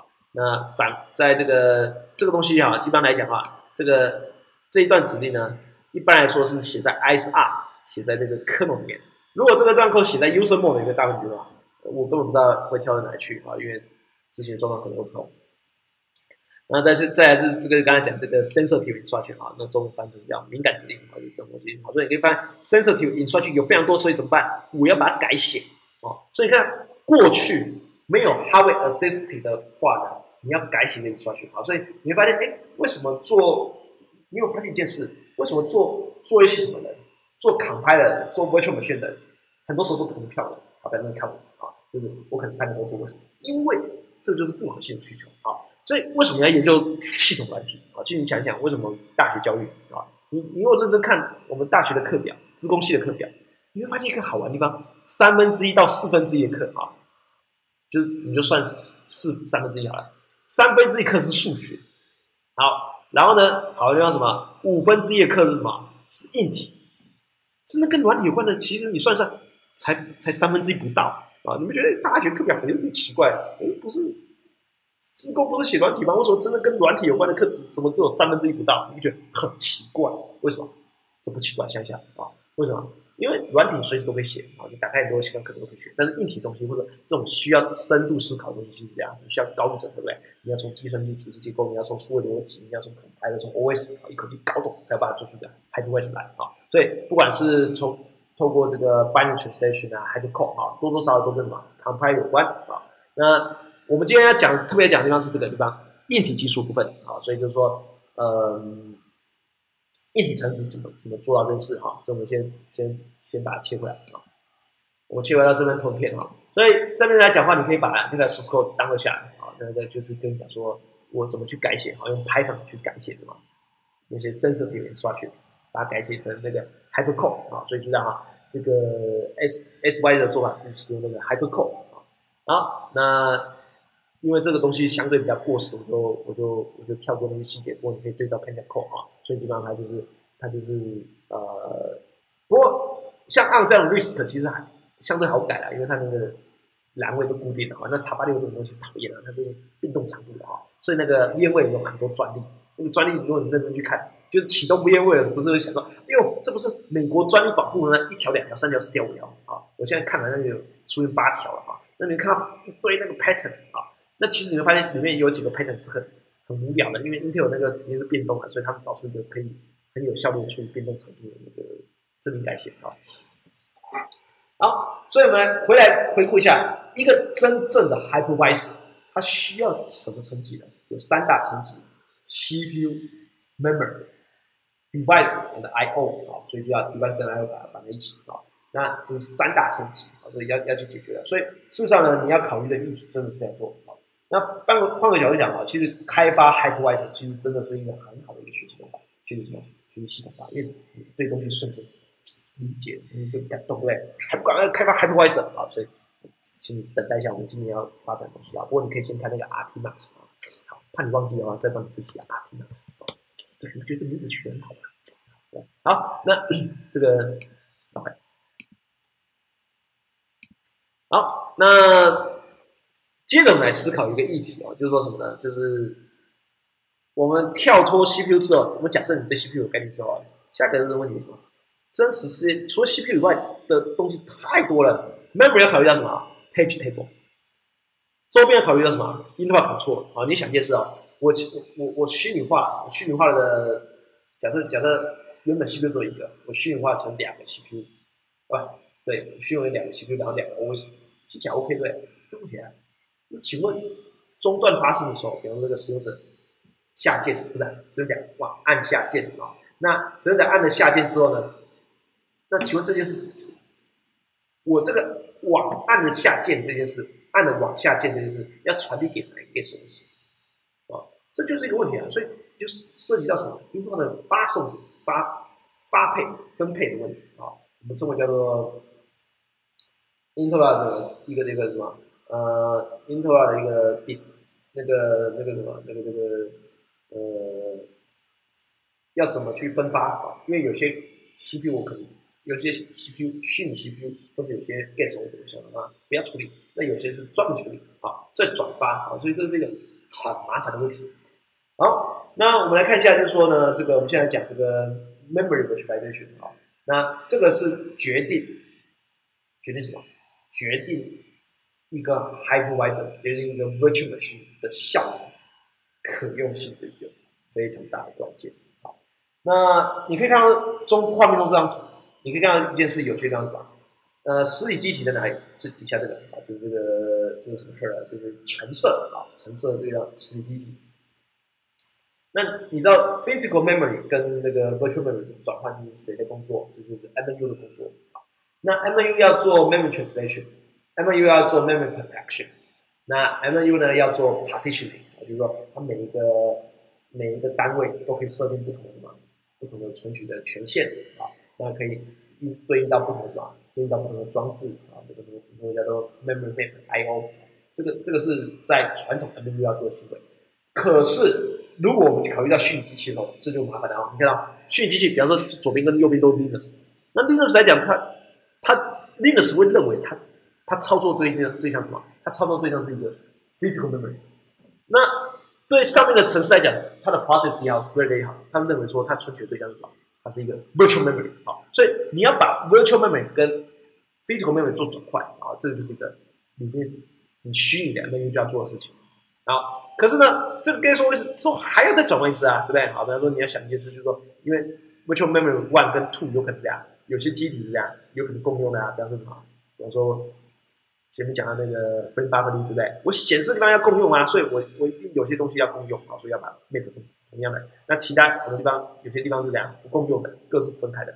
所以这就涉及到就是你要做两次 memory translation 啊，你用脑袋想到这会不会慢？废话当然慢。就算只做一次 memory translation translation，为了加速这件事，我以前做什么东西做 TOP。那这个问问题显然不是加一个 TOP 就就会变快，显然不是，因为它变复杂多了，对吧？啊，所以事实上呢，我们其实涉及的问题是非常复杂，你需要两次的 memory translation。所以第二代的虚拟化技术，第二代的硬体加速的虚拟化技术，基本上都是这样，会花很多心思在处理什么 memory virtualization 啊，所以这里可以看到这第二代啊，所以 Intel 的这个 VT 啦，跟那个 Cortex 的 A 十五啊，基本上花了很多心思在处理 memory。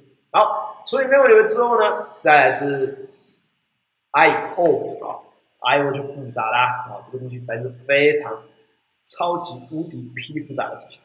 你想个简单例子，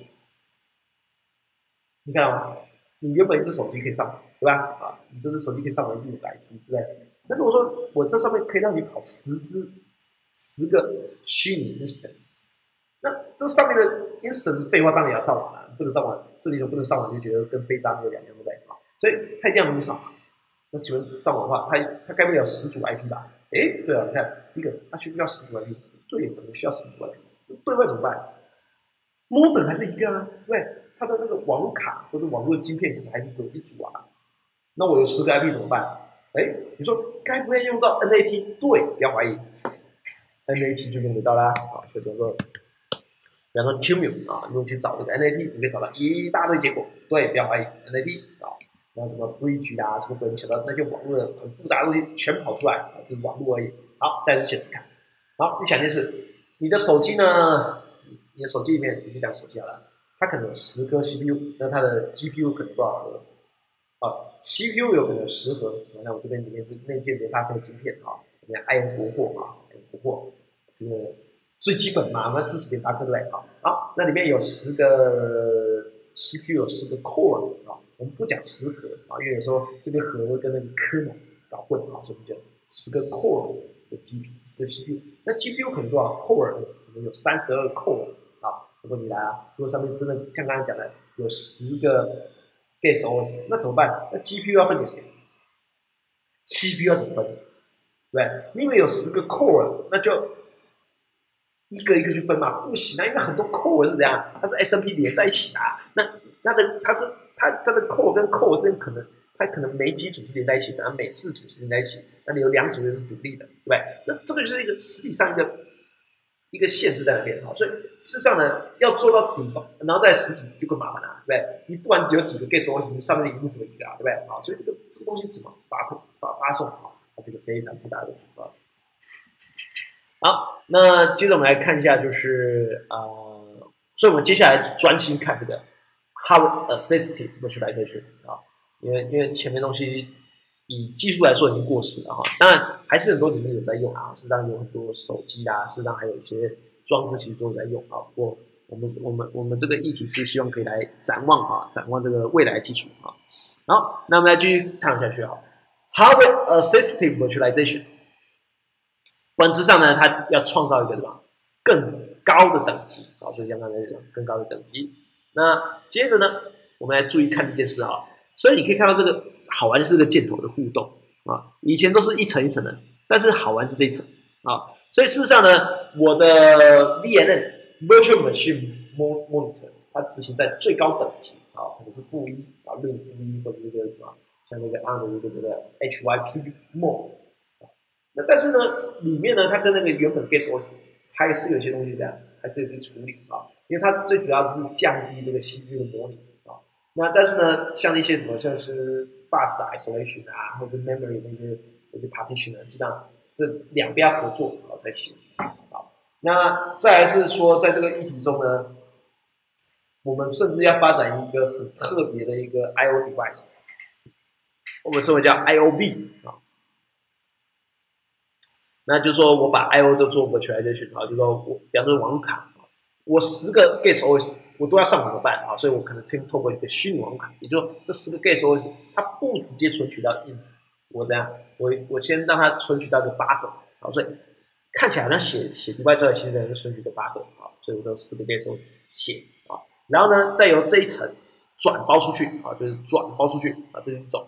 那当然还有一种叫 pass through 啊，就是说，哎，如果呢这个十个 S O S 里面只有一个人有资格存取到网络，好，那我呢就把网络电脑网这个这个这个什么 NIC 啊，就是那个呃 Network Interface 的 controller 的存取权给其中一个 S O S，那其他九个 S O S 不准他存取啊，我们这边就这个叫 pass through 啊。那这个东西呢，在这个 G P U 的使用非常之重要啊，这个。那在 Linux 上有非常成熟的东西，叫做 virtio。好，这个 virtio 你在网上可以找到一大堆，我这边不赘述啊。那这边值得一提的地方是，这时候该知道 Hyper-V 啊。那 Hyper-V 对标怀疑，Hyper-V 是什么鸟？Hyper-V 就是 Microsoft 发展的东西，叫 Hyper-V 啊。那我们要知道一件事呢，Hyper-V 呢最早呢由 Microsoft 发展的时候呢，事实上的。呃，事实上曾经踩到 GPU 的，他曾经有 GPU violation 过。呃，在两千零九年的时候呢，Microsoft 被指控啊违反 GPU，为什么呢？因为因为我们知道一件事啊，这个这个东西很有趣啊，这个这个这个梗塞太这个梗塞太太太太重要了哈，还可以。我们我们这里的学生。整理一个很很棒的一个东西啊，就是你可以找这个关键 Hyper-V 再加啊 F O S S A P 七啊，就是跟你讲说这个呃这个地方这个这个这个它的一个相关的那个法律争议的问题啊。那两千零九年呢，这个 Hyper-V Hyper-V 是什么？Hyper-V 是 Microsoft 的一个虚拟化方案，所以它可以它在 Hyper-V 上面可以执行什么？Linux 可以执行 Windows 啊，执行很多 OS。好，那问题来了，你有想过一件事？Hyper-V 为什么会违反 GPU 呢？为什么？因为因为也是因为这个议题啊。因为如果说你要做 Pad Through 啊，你要做这个 I/O 出来这群拿在，你是不是是是不是一定要 Guest OS 上一定要这样，一定要有个特制的专对不对？这点知道。因为原本的 Guest OS 它可能直接存取到硬体，但是我为了要做到 I/O 出来这群，所以事实上你是存取到一个特制的驱动指示。好，那特制的驱动指示背后要不要写？当然要写啦。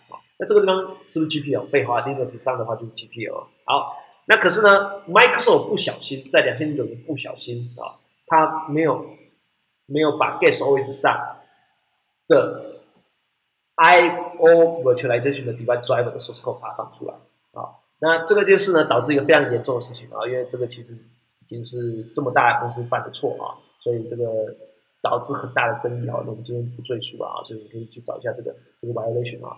那后来的结果其实呃非常非常正面啊。后来 Microsoft 做什么事情呢？Microsoft 就承认它的疏失，而且把 Hyper-V 里面跟 I/O 和出来就是有关的 code 把它放出来。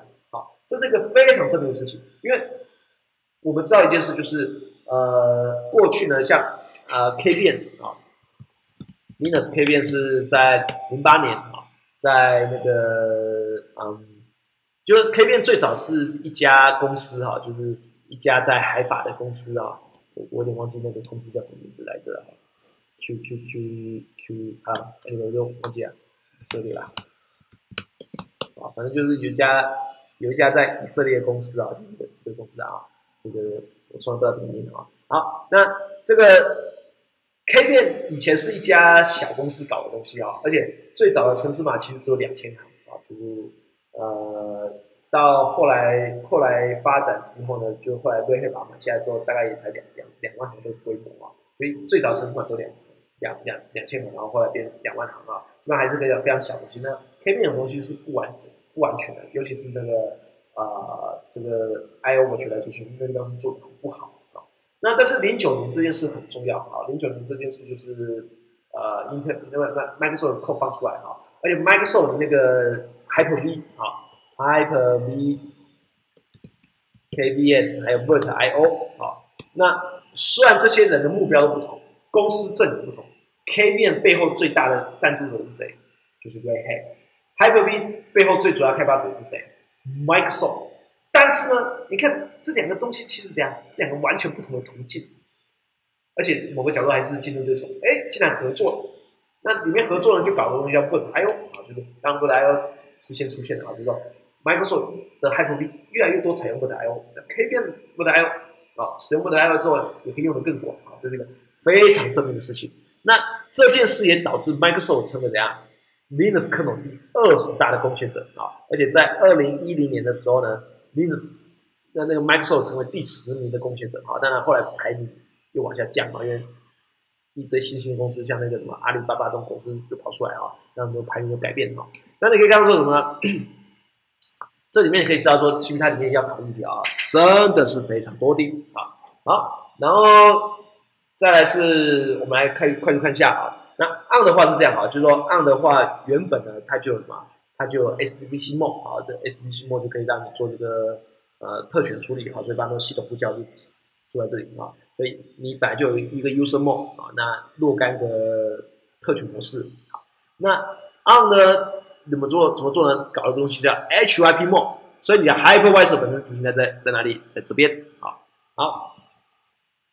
然后 on 呢，还有一个很很很酷很炫的东西，叫什么？叫做 Trust Room 啊。那我们前面讲过很多次那个 Artemis，今年希望啊，希望是今年要发布 Artemis Two。但是我还不知道叫什么名字啊，应该叫一个很炫的名字吧？对啊，应该叫一个，应该应该叫一个什么神力啊，神力虚拟机啊，对，听起来厉害对不对啊？然后什么 Wonder Wonder Virtual machine 听起来就很厉害，对不对？好，好，那所以待会，所以呃，在我们今年预计要发布的一个新的那个 hypervisor 啊，那它做一个很有趣的事情，它用 trust room，用 trust room 来实现 virtual machine monitor，这有什么好处？因为它可以降低 context switch 成本啊，所以有机会做到什么？做到 microsecond 级的精准度啊，因为很多很多 hypervisor 其他做不到。做不到，就是它可能它的那时间刻度可能就是十 microsecond，也就是说，呃，如果说你今天设定个 clock，它就可能是十 microsecond 可以很准的。但是如果说你今天要三 microsecond，甚至要一 microsecond，有没有可能做到？这就是一个非常巨大的挑战。好，所以我们后来是用这件事达到，哦，达到这个目标，所以可以做到一 microsecond 级的。你要知道一 microsecond 级，它业界是一个非常大的挑战。好，所以我们今天尝试做这个突破啊。那感谢今年遇到一些。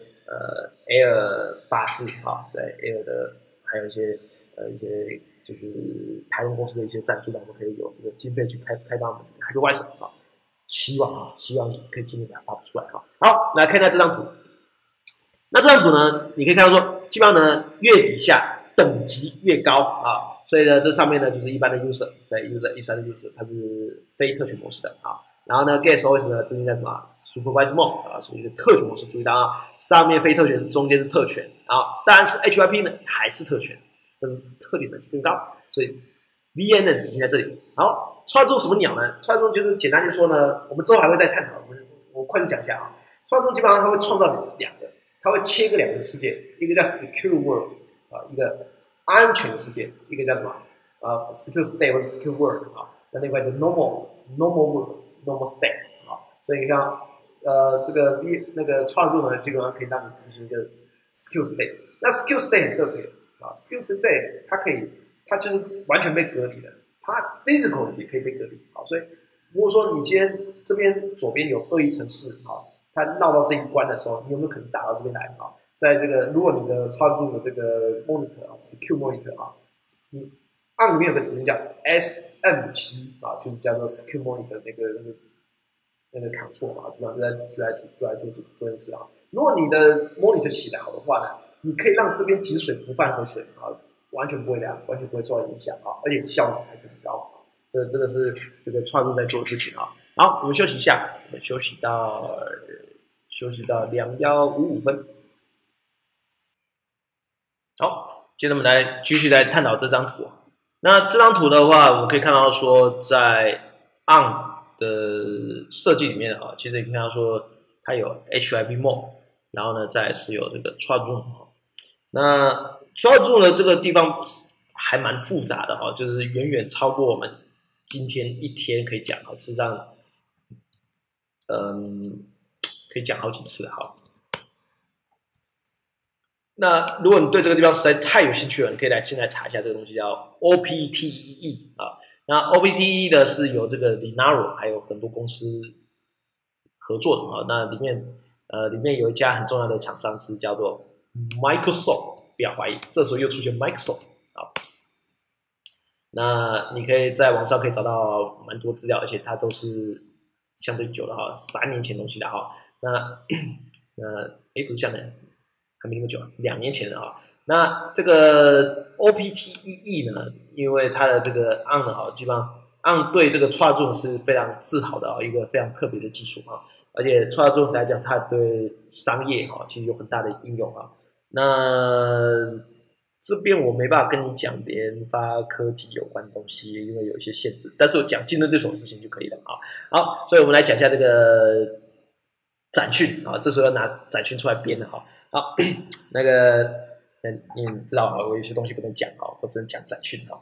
好，那以展讯来讲的话是这样，就是说，大家有没有想过一件事啊？就是那个，呃，有没有想过一件事？像周杰伦啊，啊，周杰伦他是一个很优秀的一个艺人，这个毋庸置疑啊。但他在台湾的活动很少，像最近才不是有一个演唱会，对不对？我觉得，哎，那请问周杰伦在台湾怎么赚钱？然后呢？你说，你说啊，周杰伦在台湾不用赚钱啊，反正就不用特别赚钱啊，反正也一年办几次演唱一两次演唱会就好了啊。那反正在中国就是选秀嘛，然后之类的。好，其实周杰伦赚钱方法不是这样赚的，好吧？周董之所以为周董，就是因为他赚钱方法很多种，他可以让很多人有饭吃，懂吗？好，包括我们做手机的啊。那周周董呢，其实他发发唱片发的。没那么频繁哈，你看像田馥甄啊，哈或蔡依林发发唱片的那个数量啊，都比这个周杰伦多哈。但是为什么周杰伦的获利还是比田馥甄啊啊来的多哈？为什么啊？这是一件有趣的事情啊。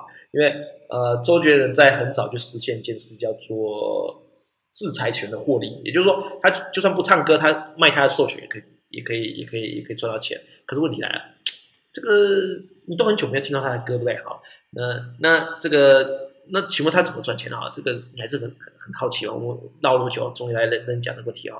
那事实上呢，像那个手机铃声哦，手机铃声是一个很区别的事情。手机铃声呢，当然是功能性手机才会在意这种事情哈。Smartphone 随时可以换啊，但是功能性手机来讲，那个 手机铃声是一个很重要的获利来源啊。那所以，我我们接着接着来想想一个议题啊，就是说这个。这个功能性手机啊，它既然它是一个获利的一个很重要来源的时候，那我要怎么让下载下载获得资料啊？可以这样，可以那个可以正正确的那个播放啊，这是一个对不对？然后你又你又需要这些这些什么铃声这些资料啊，不不会这外泄啊，这是一个非常困难的事情啊。所以安安呢很早就提出个创作，出创作出来很久了，它超过十年了。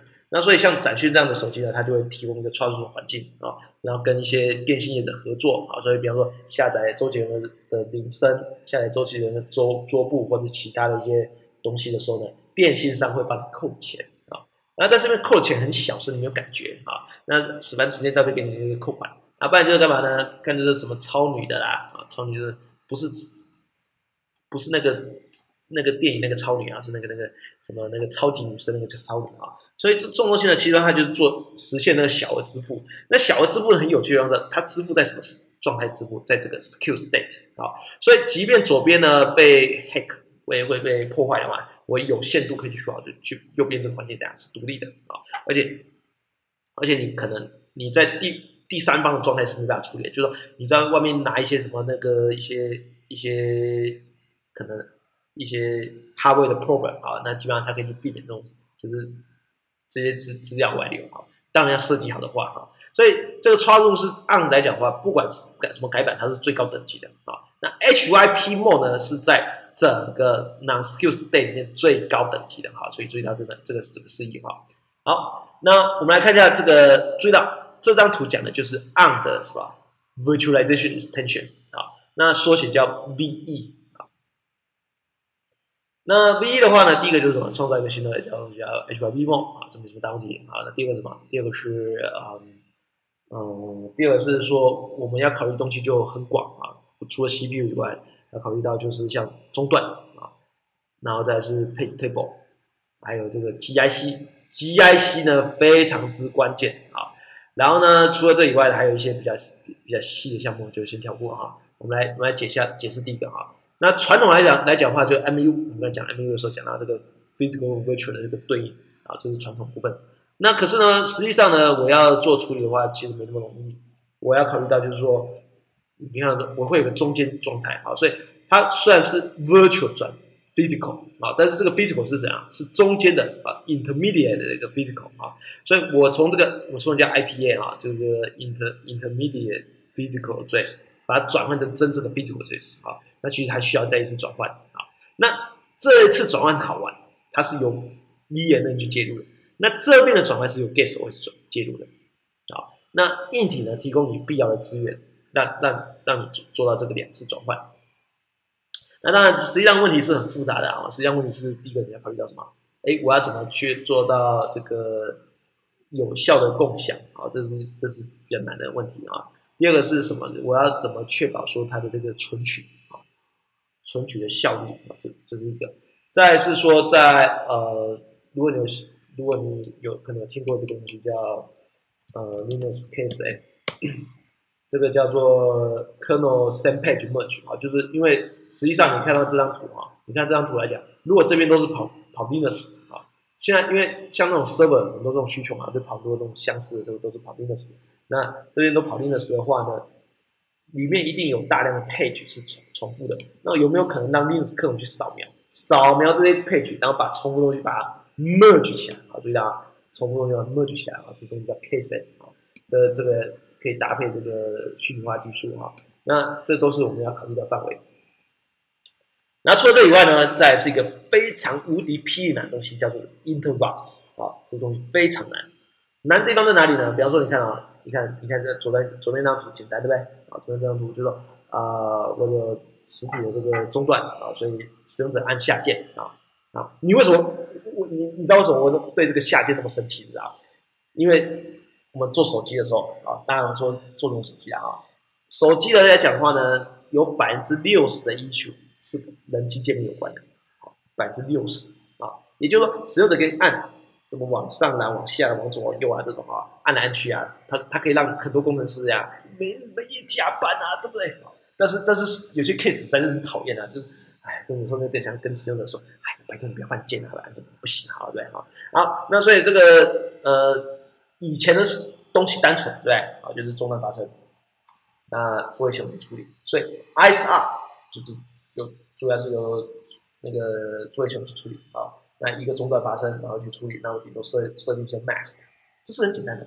但是呢，如果说你看右边，我好多个什么，好多个 guest OS，然后我要指定发它发送啊，所以我事实上我这个我就印的话不是传。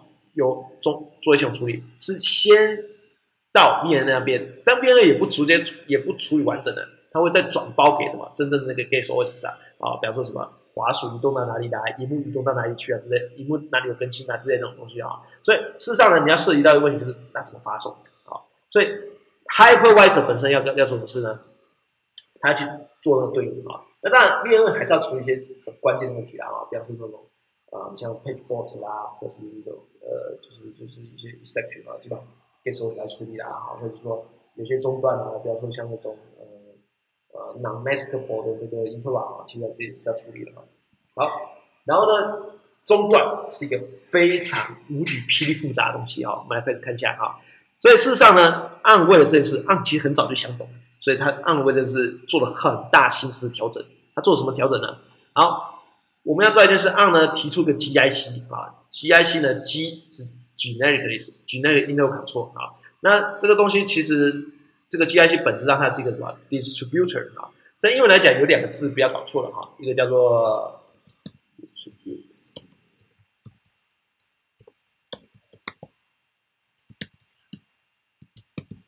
好，有两个字不要搞错，这一个叫 dispute，一个叫 dispatch 啊。那 dispute 呢，基本上就是我们讲那个，比方说你常常听到一个词叫什么，normal distribution 啊，就是那个 normal distribution 这个，叫做常态分布啊。那所以它的分布你要注意到，每一个样本我们它发生，我们认为是什么？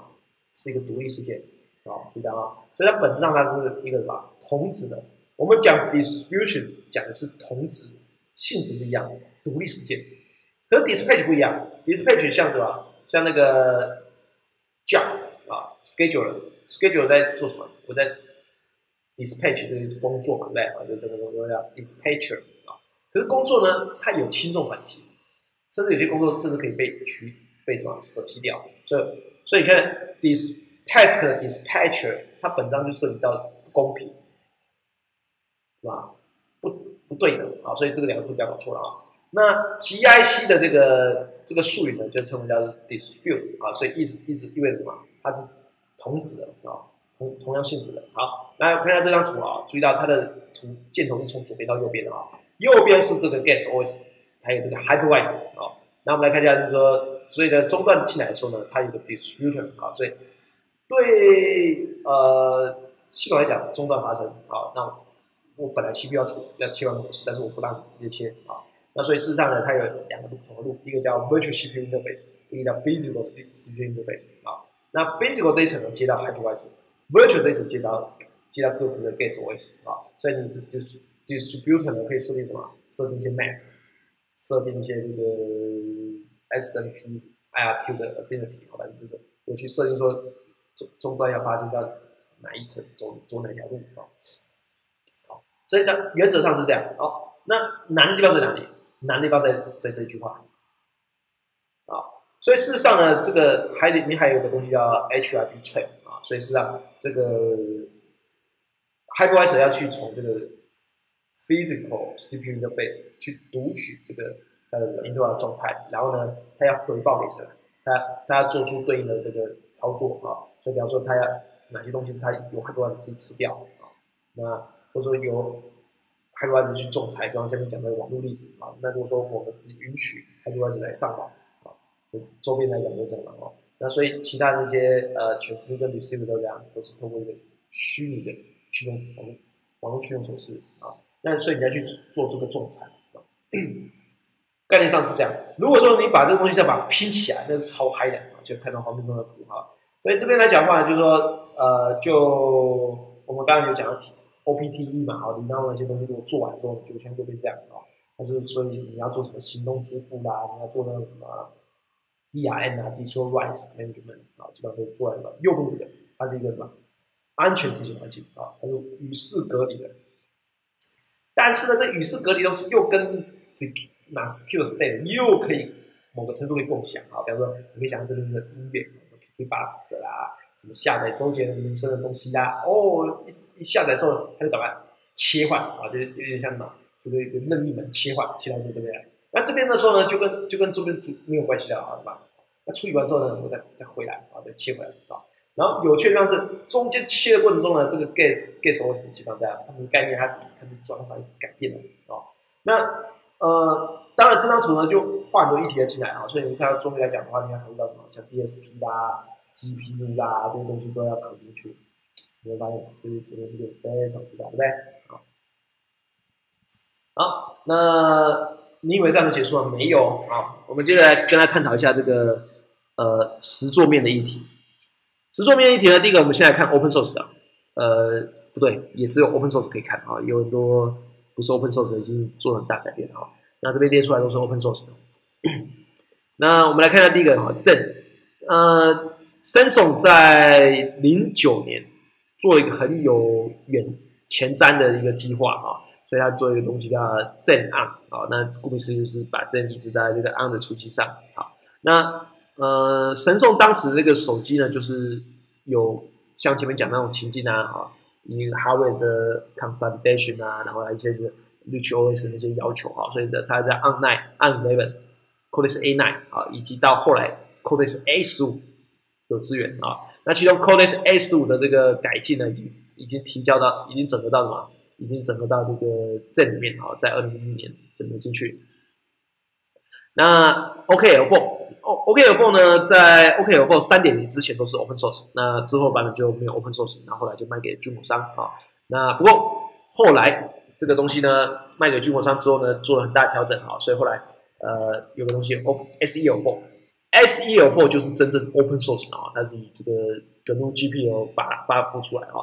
那你可以想象它是一个什么？它是一个进化版的一个一个 OKL4 啊，所以呃，它有非常前瞻的哈。然后呢，在 TU Dresden 啊，这这个那个嗯，Dresden 的那个科技大学啊，他们搞一个东西啊，L4 Linux。我们知道，呃，德国是发展 microkernel 的重镇哈。最早第一代 microkernel，比方说卡内基美隆大学的这个 Mark 啊，他们在美国发展哈。但是第二代的 microkernel 其实在德国发扬光大的哈。那你可能知道那个 Jochen l i d e k 啊，Jochen l i d e k 博士他发的 L4，那 L4 获得巨大的成功，然后所以它影响到像 OKL4 啊。那 L4 Linux 呢是这个德国这些大学还有一些研究机构呃合作的一个项目，就是把 Linux 跑在 L4 microkernel 上啊。那所以 L4 其实它就变成一个什么 hypervisor，因为它上面可以执行好几个 Linux 的一个什么 SOS 啊。然后呢，呃，为了让能够实做 Big Little 的这个切换啊，所以这个 on 搞了一个东西叫 Virtualizer 啊。注意到这个是在二零两二零一零年还有二零一一年之间的名词啊，后来这个词被丢掉了哈。那因为太容易让你混淆了哈。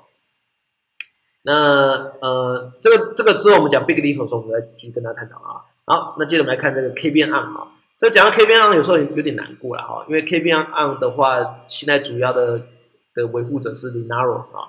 那他在 Linaro 维护之前是有哥伦比亚大学的这个呃研究员开发的啊。但是很不幸的地方是什么？知道有没有看到 NTH？对，不要怀疑，NTH 是哪里？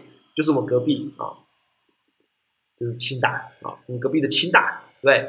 那你说哇，清大跟这个 K V 有什么关系？关系可大了啊！这个东西想起来就难过。其实 KBN 的 unporting 真正把它做出来，真正达到一个可用的效能是谁做的？不是哥伦比亚大学，是台湾的清华大学。你觉得很神奇啊，对不对啊？但是很不幸的地方是，因为台湾的发展发表的比较晚啊，虽然台湾做的比较完整。当时哥伦比亚大学在 demo 说，因为他们那个系统很慢，开电池要开十分钟。哇靠！因为没听错，开电池要开十分钟，这什么垃垃圾呀啊！但是但是怎样？他跟 Upstream 关系很好，而且他一有成果就把它丢出来啊。那清华大学比较可惜的地方是，呃，当时有些策略考量，所以打算不打算说很早，不打算一开始把 source code 放出来，而且放出 source code 放出 source code 之后，放出来就没有继续跟那个上游继续合作了啊，所以就很不幸啊，所以。导致呃，虽然清华大学在两千零九年做的比哥伦比亚大学好很多啊，效能好很多，那但是因为跟上游的关系，跟这个 up 跟那个整个整个开开放源码的生态没有没有没有处理的好啊，所以导致昙花一现啊，这这其实很可惜啊，所以就是如果说在座的朋友如果是大学生啊，我觉得真的觉得说这种案例我们中就讲不完。有，我可以讲出好多个案例，是台湾人先做，但是没有机会做到世界一流。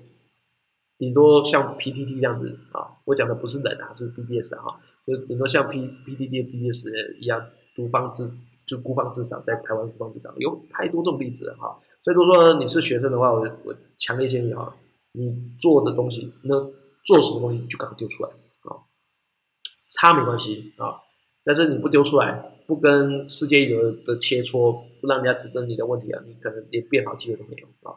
好，那再来是 X Y 的，那 X Y 的话，从 On V by On V Seven NV 呃 Seven 再加 B 好了，以及 On V Eight 啊都有资源啊。那底下是那个 Code Zero 啊，这个伤心的故事我们就不谈了，对不？好，那以以 Sensor 的这个 Zen On 来讲的话呢，它的设计这样哈，Zen 是 Type One 的 Hypervisor。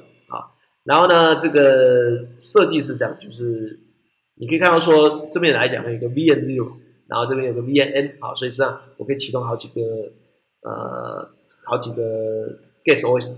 但是这个 VNZ 很重要，为什么呢？为什么这个东西重要？因为呢，它有真正的 Device Driver，这边有没有看到有 Native Driver？所以这边 Native Driver 可以可以怎样透过 VN Interface 存取到什么硬体？但是呢，这边的 Guest OS 它其实不能存取。它其实要先连到什么 backend driver，backend driver 再连到 native driver，再通过刚才讲的路啊，所以你就看这个这个 VM 这个扮演非常重要的角色，它其实它怎样？它是管理的那个驱动程式啊。那这边来讲的话，驱动程式就很像是网络的驱动程式一样啊，就是我做这个像 TCP/IP 的通讯这样子。啊，这件事啊特别特别搞清楚啊！啊，这个是这个正设计啊。那呃，正的开发呢，因为它也考虑到问题就很多了啊，因为它它从这个 online 啦、on11 啊，然后到那个啊 H I P Mo 啊，就是 VE 这些东西的这个资源啊，都有陆陆续加进去啊。然后我们来看一下这个一个情境啊，你就想象这个情境这样，就是像左下角看到的一个平板啊，就是一台一个 tablet 啊。那这个 tablet 呢，上面有两个以上的作业系统，好，那两个以上作业系统呢，那我们可能就是涉及到一个很大问题，就是我需要显示，对不对？啊，就说你可能两个两个两个装置嘛，啊，就是要去呃两个 OS 在一个装置上面做，所以你可能需要俩，需要滑一下变成另，或者按一个键就变成另外一个 OS，这这很好，但问题是实作来讲的话就有点复杂啊。你看到说，呃，第一个 OS 啊，就第呃讲到第一个 guest OS，我们叫做照前面的术语叫什么？叫 VM Zero 啊。这个 VM Zero 呢，它有真正的 native driver 啊，所以它可以透过这个 VM interface 存储出来硬体啊。然后这边提供个 backend driver，所以看到这边的要做什么事是先拖到这个 backend driver，再通过 native driver 再过来啊。这还好，但是关键地方是哪里？你会发现这边有个非常苦恼的事情，因为从 front end virtual driver 要跟这边沟通的时候，不能直接把资料丢过去。注意到，我要先干嘛？我要先跳进 hypervisor，好，然后再跳到 guest OS，然后呢，再跳到 hypervisor，好，这边看到进去一次，好，看到进去一次，然后这个吧，然后传传递资料，再进去一次，好，那处理完之后呢？再进去一次，好，所以然后整个处理完这样再回来啊，回到这边来，所以这边来回就是四次，好，那这个这个来讲话呢，你就想，你把这东西想象想象成那个 counter switch 啊，但是它的成本很大，你还涉及到这个还涉及到模式的问题哈，那所以事实上它的代价是非常大的啊，所以我们接着我们就想有没有可能我们去加速这个操作啊？所以呢，有一个很有趣的机制，我们说叫 vn-exit 啊，注意到，注意看这张图啊。这个 vn-exit 呢，它提供一个 shortcut 啊，这个东西很有趣哦。这个 shortcut 是怎样？它可以让你直接从这边跳，啊，注意到啊，这边跳，然后呢，干嘛？跳这边就就这样，就可以，就是我我有个路径，我可以直接这样，我可以直接在那边切换啊，所以我不需要绕这么长路径，我可以直接跳。跳这个模式，然后呢，把之前那个结果把它找出来啊。所以，比方说你上面跑那个呃显示啊，或者这些处理啊，所以它一个 V N 这次可以去改变这个呃这个它它就创造一个 shortcut，那可以避免每次的大量的 hypercode 啦，然后这种这种这种这种切换啊。好，不过 V N 这次有很多限制啊，所以你要请你搭配看一些文件哦。那所以你可以看到说，我们说为 hardware assisted，并不是说他会把这些 virtualization 全部做完，不可能。他会必须提供一些一定的弹性啊，hardware 能够做的是把耗费时间部分去掉啊，比方提供一个 shortcut，可以避免这种事的发生。好，然后呢，终于我们来开始来讲这个 big little 啊，当然我们今天讲的 big little 是呃不是完整 big little 了啊，你要看完整 big little 可以请看我们今天列出来的这个另外一份图片。那我们今天讲的这个 Big Little 是在讲什么？跟 Virtualization 有关的部分。好，我们知道 Big Little 的关键是要做这个 Migration。那 Migration 的时候呢，我们事实上有很多议题要去考虑到。好，所以呢，我们来思考一件事，就是说，哎，为什么这工程中我们需要一个 On Y 一个 Hypervisor 啊？因为呢，比方说以终端来讲，注意到终端只是一个一件事啊，不是走终端来讲，还有各式各样的 Section 啊。所以事实上呢，我们在在做整个 migrate 的过程中呢，事实上我会有中断，还有很多 section 会发生啊。那可是问题是因为整个作业组正在正在处理，就像你想让人家搬家嘛，对？比方说你你买了一个新房子，那买了新房子呢，你要搬家嘛啊？那搬家的时候你还是要找地方睡觉，对啊？然后你还要找地方洗澡嘛，你还找地方洗衣服啊？所以很多时候在搬家时候很麻烦，因为搬家不是一天就可以完成的，他可能要搬个好几天，而且更麻烦的是有可能。你买房子里面的人还没搬走对，哈，有些有些房，有些有些屋主他们是手头没钱嘛，赶快把自己的那个房子赶快出脱啊，但是他还是住在那里，所以你遇到一个问题是什么？哎，那边人还还使用一部分的那个新的家啊，就是你的新家，他的旧家啊，就说你的新家还还有一部分是被人家用占用的啊，那你还不能完整搬过去，所以你遇到这种时候，很多时候为了搬家，有时候怎么办？哎，你有可能还要住饭店，对吧？啊，所以你就想要这个 hypervisor 就像一个饭店啊。如果你先把一个饭店住好，啊，那你搬家的时候的压力比较低，呃，压压力就不用不那么高了。你可以想，你可以这样，你可以一个照你的进度，或者照另外一边啊，这个交的状况决定啊，反正你有一个地方可以拥有一个地方住啊，所以什么事情啊，什么这些需求，你你不用这个疲于奔命啊，所以类似的概念啊。那所以呢，我们设计这样的一个 hypervisor 专门来处理的。这个 interval，但是它不真正去处理对吧？它是转包会把它的状态保持下来啊。所以我们来看一下这张示意图。我们看一下这张示意图呢，你可以看到一个好玩的事情，就是说，呃，这个 big little 正在切换啊。那切换过程中，我会切有一个这个 hypervisor 事实上是怎样？它会执行在这个 HRB mode。那 HRB mode 的话呢，我可以怎样先接收到这个 interval，或者接收到这种 section 这种状况啊。所以我先把它拿。把这个保存下来啊，所以这个东西叫什么？这个叫做 test migration interrupt handler。所以这意顾名思义就是说，这个 interrupt handler 专门在什么 test migration。好，所以我先把这个状态保存下来啊，我避免那个 interrupt 状态的反复发生啊。那我就把这个东西保存下来啊，等 Linux 不管是从 big 到 little，little 到 big，好，反正不管，等 Linux 都处理好之后呢，我再把这哪把这个 interrupt 转包给 Linux 来做好，所以右边这个 Linux。那当然说，哎，整体来讲，时间会不会拖长？会，哦，所以注意到，big little，它的 migration 的代价是很大，哦，我前面讲过，它是 millisecond 级的，啊，那所以事实上呢，有很多研究，啊，就是说，而且现在很棒，但是？这些研究其实都在应用应用的环境里面，啊，所以如果你是学生啊，其实不要跟我说什么研究所找不到题目啊，拜托不要讲那种无聊话。天底下一堆事都都解决不完的问题啊，对不对啊？我们政府那么烂，为什么不去改革啊？不不不不，讲错了。我说我说我我说有天底下有那么多事可以做嘛，对不对？有太多事了，比方说啊，比方说像那种我们前面讲的区块链啊，我们讲这个手机啦，我们讲这个工号啦，我们讲这种种种问题，太多问题可以处理啊。这个你只要认真看待啊，你要想我为什么要念资工？我为什么要念电机？为什么要学工程？就是为了改变世界，对啊。我不改变世界，我干嘛把它当个公司啊？所以你就是要决心，我要改变世界啊！从手机出发啊，从线上支付，从区块链，从从那些什么啊身份识别啊，诸如此类的问题啊，都存在啊！而且绝对不要说没有空间，一直到今天还有一大堆空间可以去处理啊！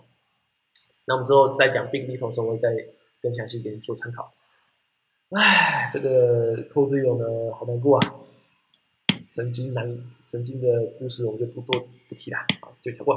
好，那么好，接着我们来讲一下这个 Gas OS 的部分啊。我们前面花了很多时间讲这个 Hypervisor 啊，那接着来讲这个 Gas OS。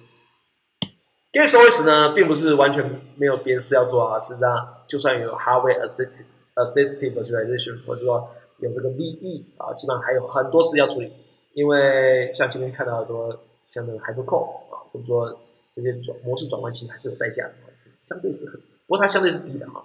那再是呃，事实上呢，有很多东西都是我前面讲过，它都是最后都是 hybrid model 哈。尤其到涉及到一个问题，叫做 GPU 的去来咨询啊。GPU 我去来咨询，一直到现在都是一个非常困难的问题啊。当然，说 Linux 的 Linux 四点一一 GPU 的去来咨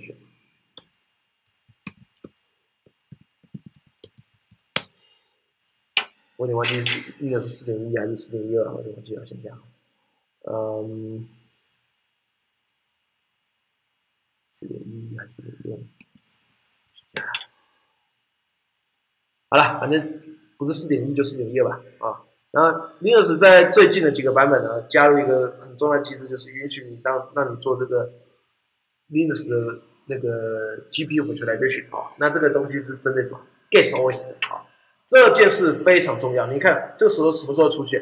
就是今年的事情。好，所以你看这份投影片讲的事情很有趣，就是有些东西已经过时了啊，但是呢，你可以看到这边来讲，一直到今天还是一个很大的问题，就是说，比方说我要怎么做到，不管是泰国人也好啦泰国兔也好，我要怎么到怎么做到 GPU 的来越选啊，这是一个非常复杂的事情啊。再是为了做到这件事呢，基本上你要对 Linux 可能做很多的修改啊，呃。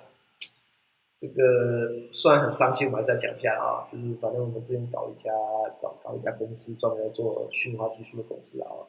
这个好，那当时呢，我们有个很重要的一个诉求，就是说 Linux 的那个修改量啊，可以在七百行以内啊。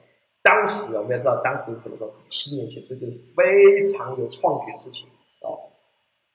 大家现在是 nothing 了啊。唉，懂吗？你有时候、有时候、有时候、有时候就这样，人生就这样嘛。你就是要做一些事，对啊，人生做一些事，然后证明你是个乐色啊。啊，不过这个也不是坏事啊。以后表示做 Hypervisor 的时候会做得更好的。啊，所以像那个时候只修改七百行可以做到虚拟化，这是很不容易的事情啊。因为像这样啊，都是改了上万行啊，这大概改了大概九千九千到一一万行哦，这个大规模的扣哈。然后，所以这导致的每天的问题啊。不过这件事有改善的时候，因为 Linux 克隆对虚拟化技术越来越友善啊，所以很多像这样的修改哈，很大比例都默许到 Linux 克隆啊。所以基本上，虽然这还是有，还是 p a d virtualization 啊，或是它的 full v i r t u a 它的那个东西还需要很多那种呃 IO virtualization 的资源啊。但是这个地方的修改就很低了啊。那但是还有一个问题是 power consumption 啊，所以这个 power consumption 可以搭配前面讲的这个。嗯，前面讲的这个 Big Little 啊，那一直到今天还是有很大的议题啊。而且这里面很酷的地方是什么？这里面很酷的地方是跟 Machine Learning 有关。对你不要怀疑这个 Big Little 跟 Machine Learning 有没有关？有，超嗨的 Machine Learning。对，好潮啊，对啊。每次讲到 Machine Learning 都想到台大自工，对。哦，就是台大自工很多老师搞 Machine Learning 很厉害的嘛，啊。诶啊，当然，李确定老师很厉害了哈。不过我知道你想要看陈教授，对不对哈？这个这个不好意思讲谁啊哈。好，那但是我们要讲的地方是什么？就 B B。好，对，不要怀疑这个呃，这个这个这个这个啊，你在如果搜寻呢，你可以发现一个有趣的地方啊，甚至呢用到什么？用到。Machine learning 啊，帅气吧啊！而且不是只有一个人做啊，一堆人做啊，就是不是一堆人，就有开始有人做啊。因为使用者行为实在太神奇了，对不对啊？我我每个人习惯真的完全完全不一样啊，就是呃，当然你如果是在这个什么功功能性手机的时候，行为比较单纯啊，因为它有一些限制啊，比如说你要先干嘛，你要先解锁啊，等这种东西，但是。相对单纯的一个操作嘛，但是现在讲话，这个智能手机啊，或者一些智能装置出来之后，这整个系统变得非常复杂哈。所以要看你的目标啊，比方说我要追求很低的那个切换的电池，我要追求一个很低的那个能源开销，或者我要追求一个哎很舒畅的那个反应啊，这往往这些需求都是两个冲突的，所以你要工程最难的地方是 trade off 啊。所以我们作为一个是工程人员，最重要就是你要。改变世界的决心啊！当然，你不要觉得太挫折啊。改变世界其实很简单，我常常在课堂上跟学生讲，改变世界怎么做？你就在课堂上睡觉，就这样。在课堂上睡觉怎么可以改变世界呢？因为改变碳循环，对不对啊？但这种这种改变可能不是你要的，对不对啊？所以我们要追求的影响力更大的地方啊。好，那所以呢，整个来讲的话，在 g a s OS 当你要考虑到从效能啊、整个维护啦、啊功耗啦，还有还有一些。一些新兴的挑战，就 GPU 的全来咨询都有议题啊。呃，这张图没有参考，没有没有参考价值的，因为现在如果说你有那个 Hardware Assistive 的全来咨询，你都要数据往南辕北辙啊，所以这张完全完全不用看的啊。那呃，以 Android 来讲的话呢，这个我全来咨询的应用是什么？像这个 Photo 啊，那事实上已经有很多装置就是用我全来咨询啊。那可能有听过一家公司叫 Rabbit。呃，当然跟联发科有关的我都不能讲啊，请你原谅我啊。但是呢，讲竞争对手是 OK 的啊。好，这个呃有一家公司叫 Raybin，Raybin，Raybin，嗯，那讲出来奇怪，好了，Raybin，Raybin，什么 Raybin 啊？呃，不要继续。哎，连公司都不见了。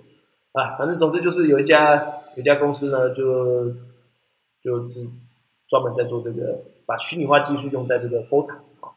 那这个东西其实其实有在出货的，我可能还是找一下哈。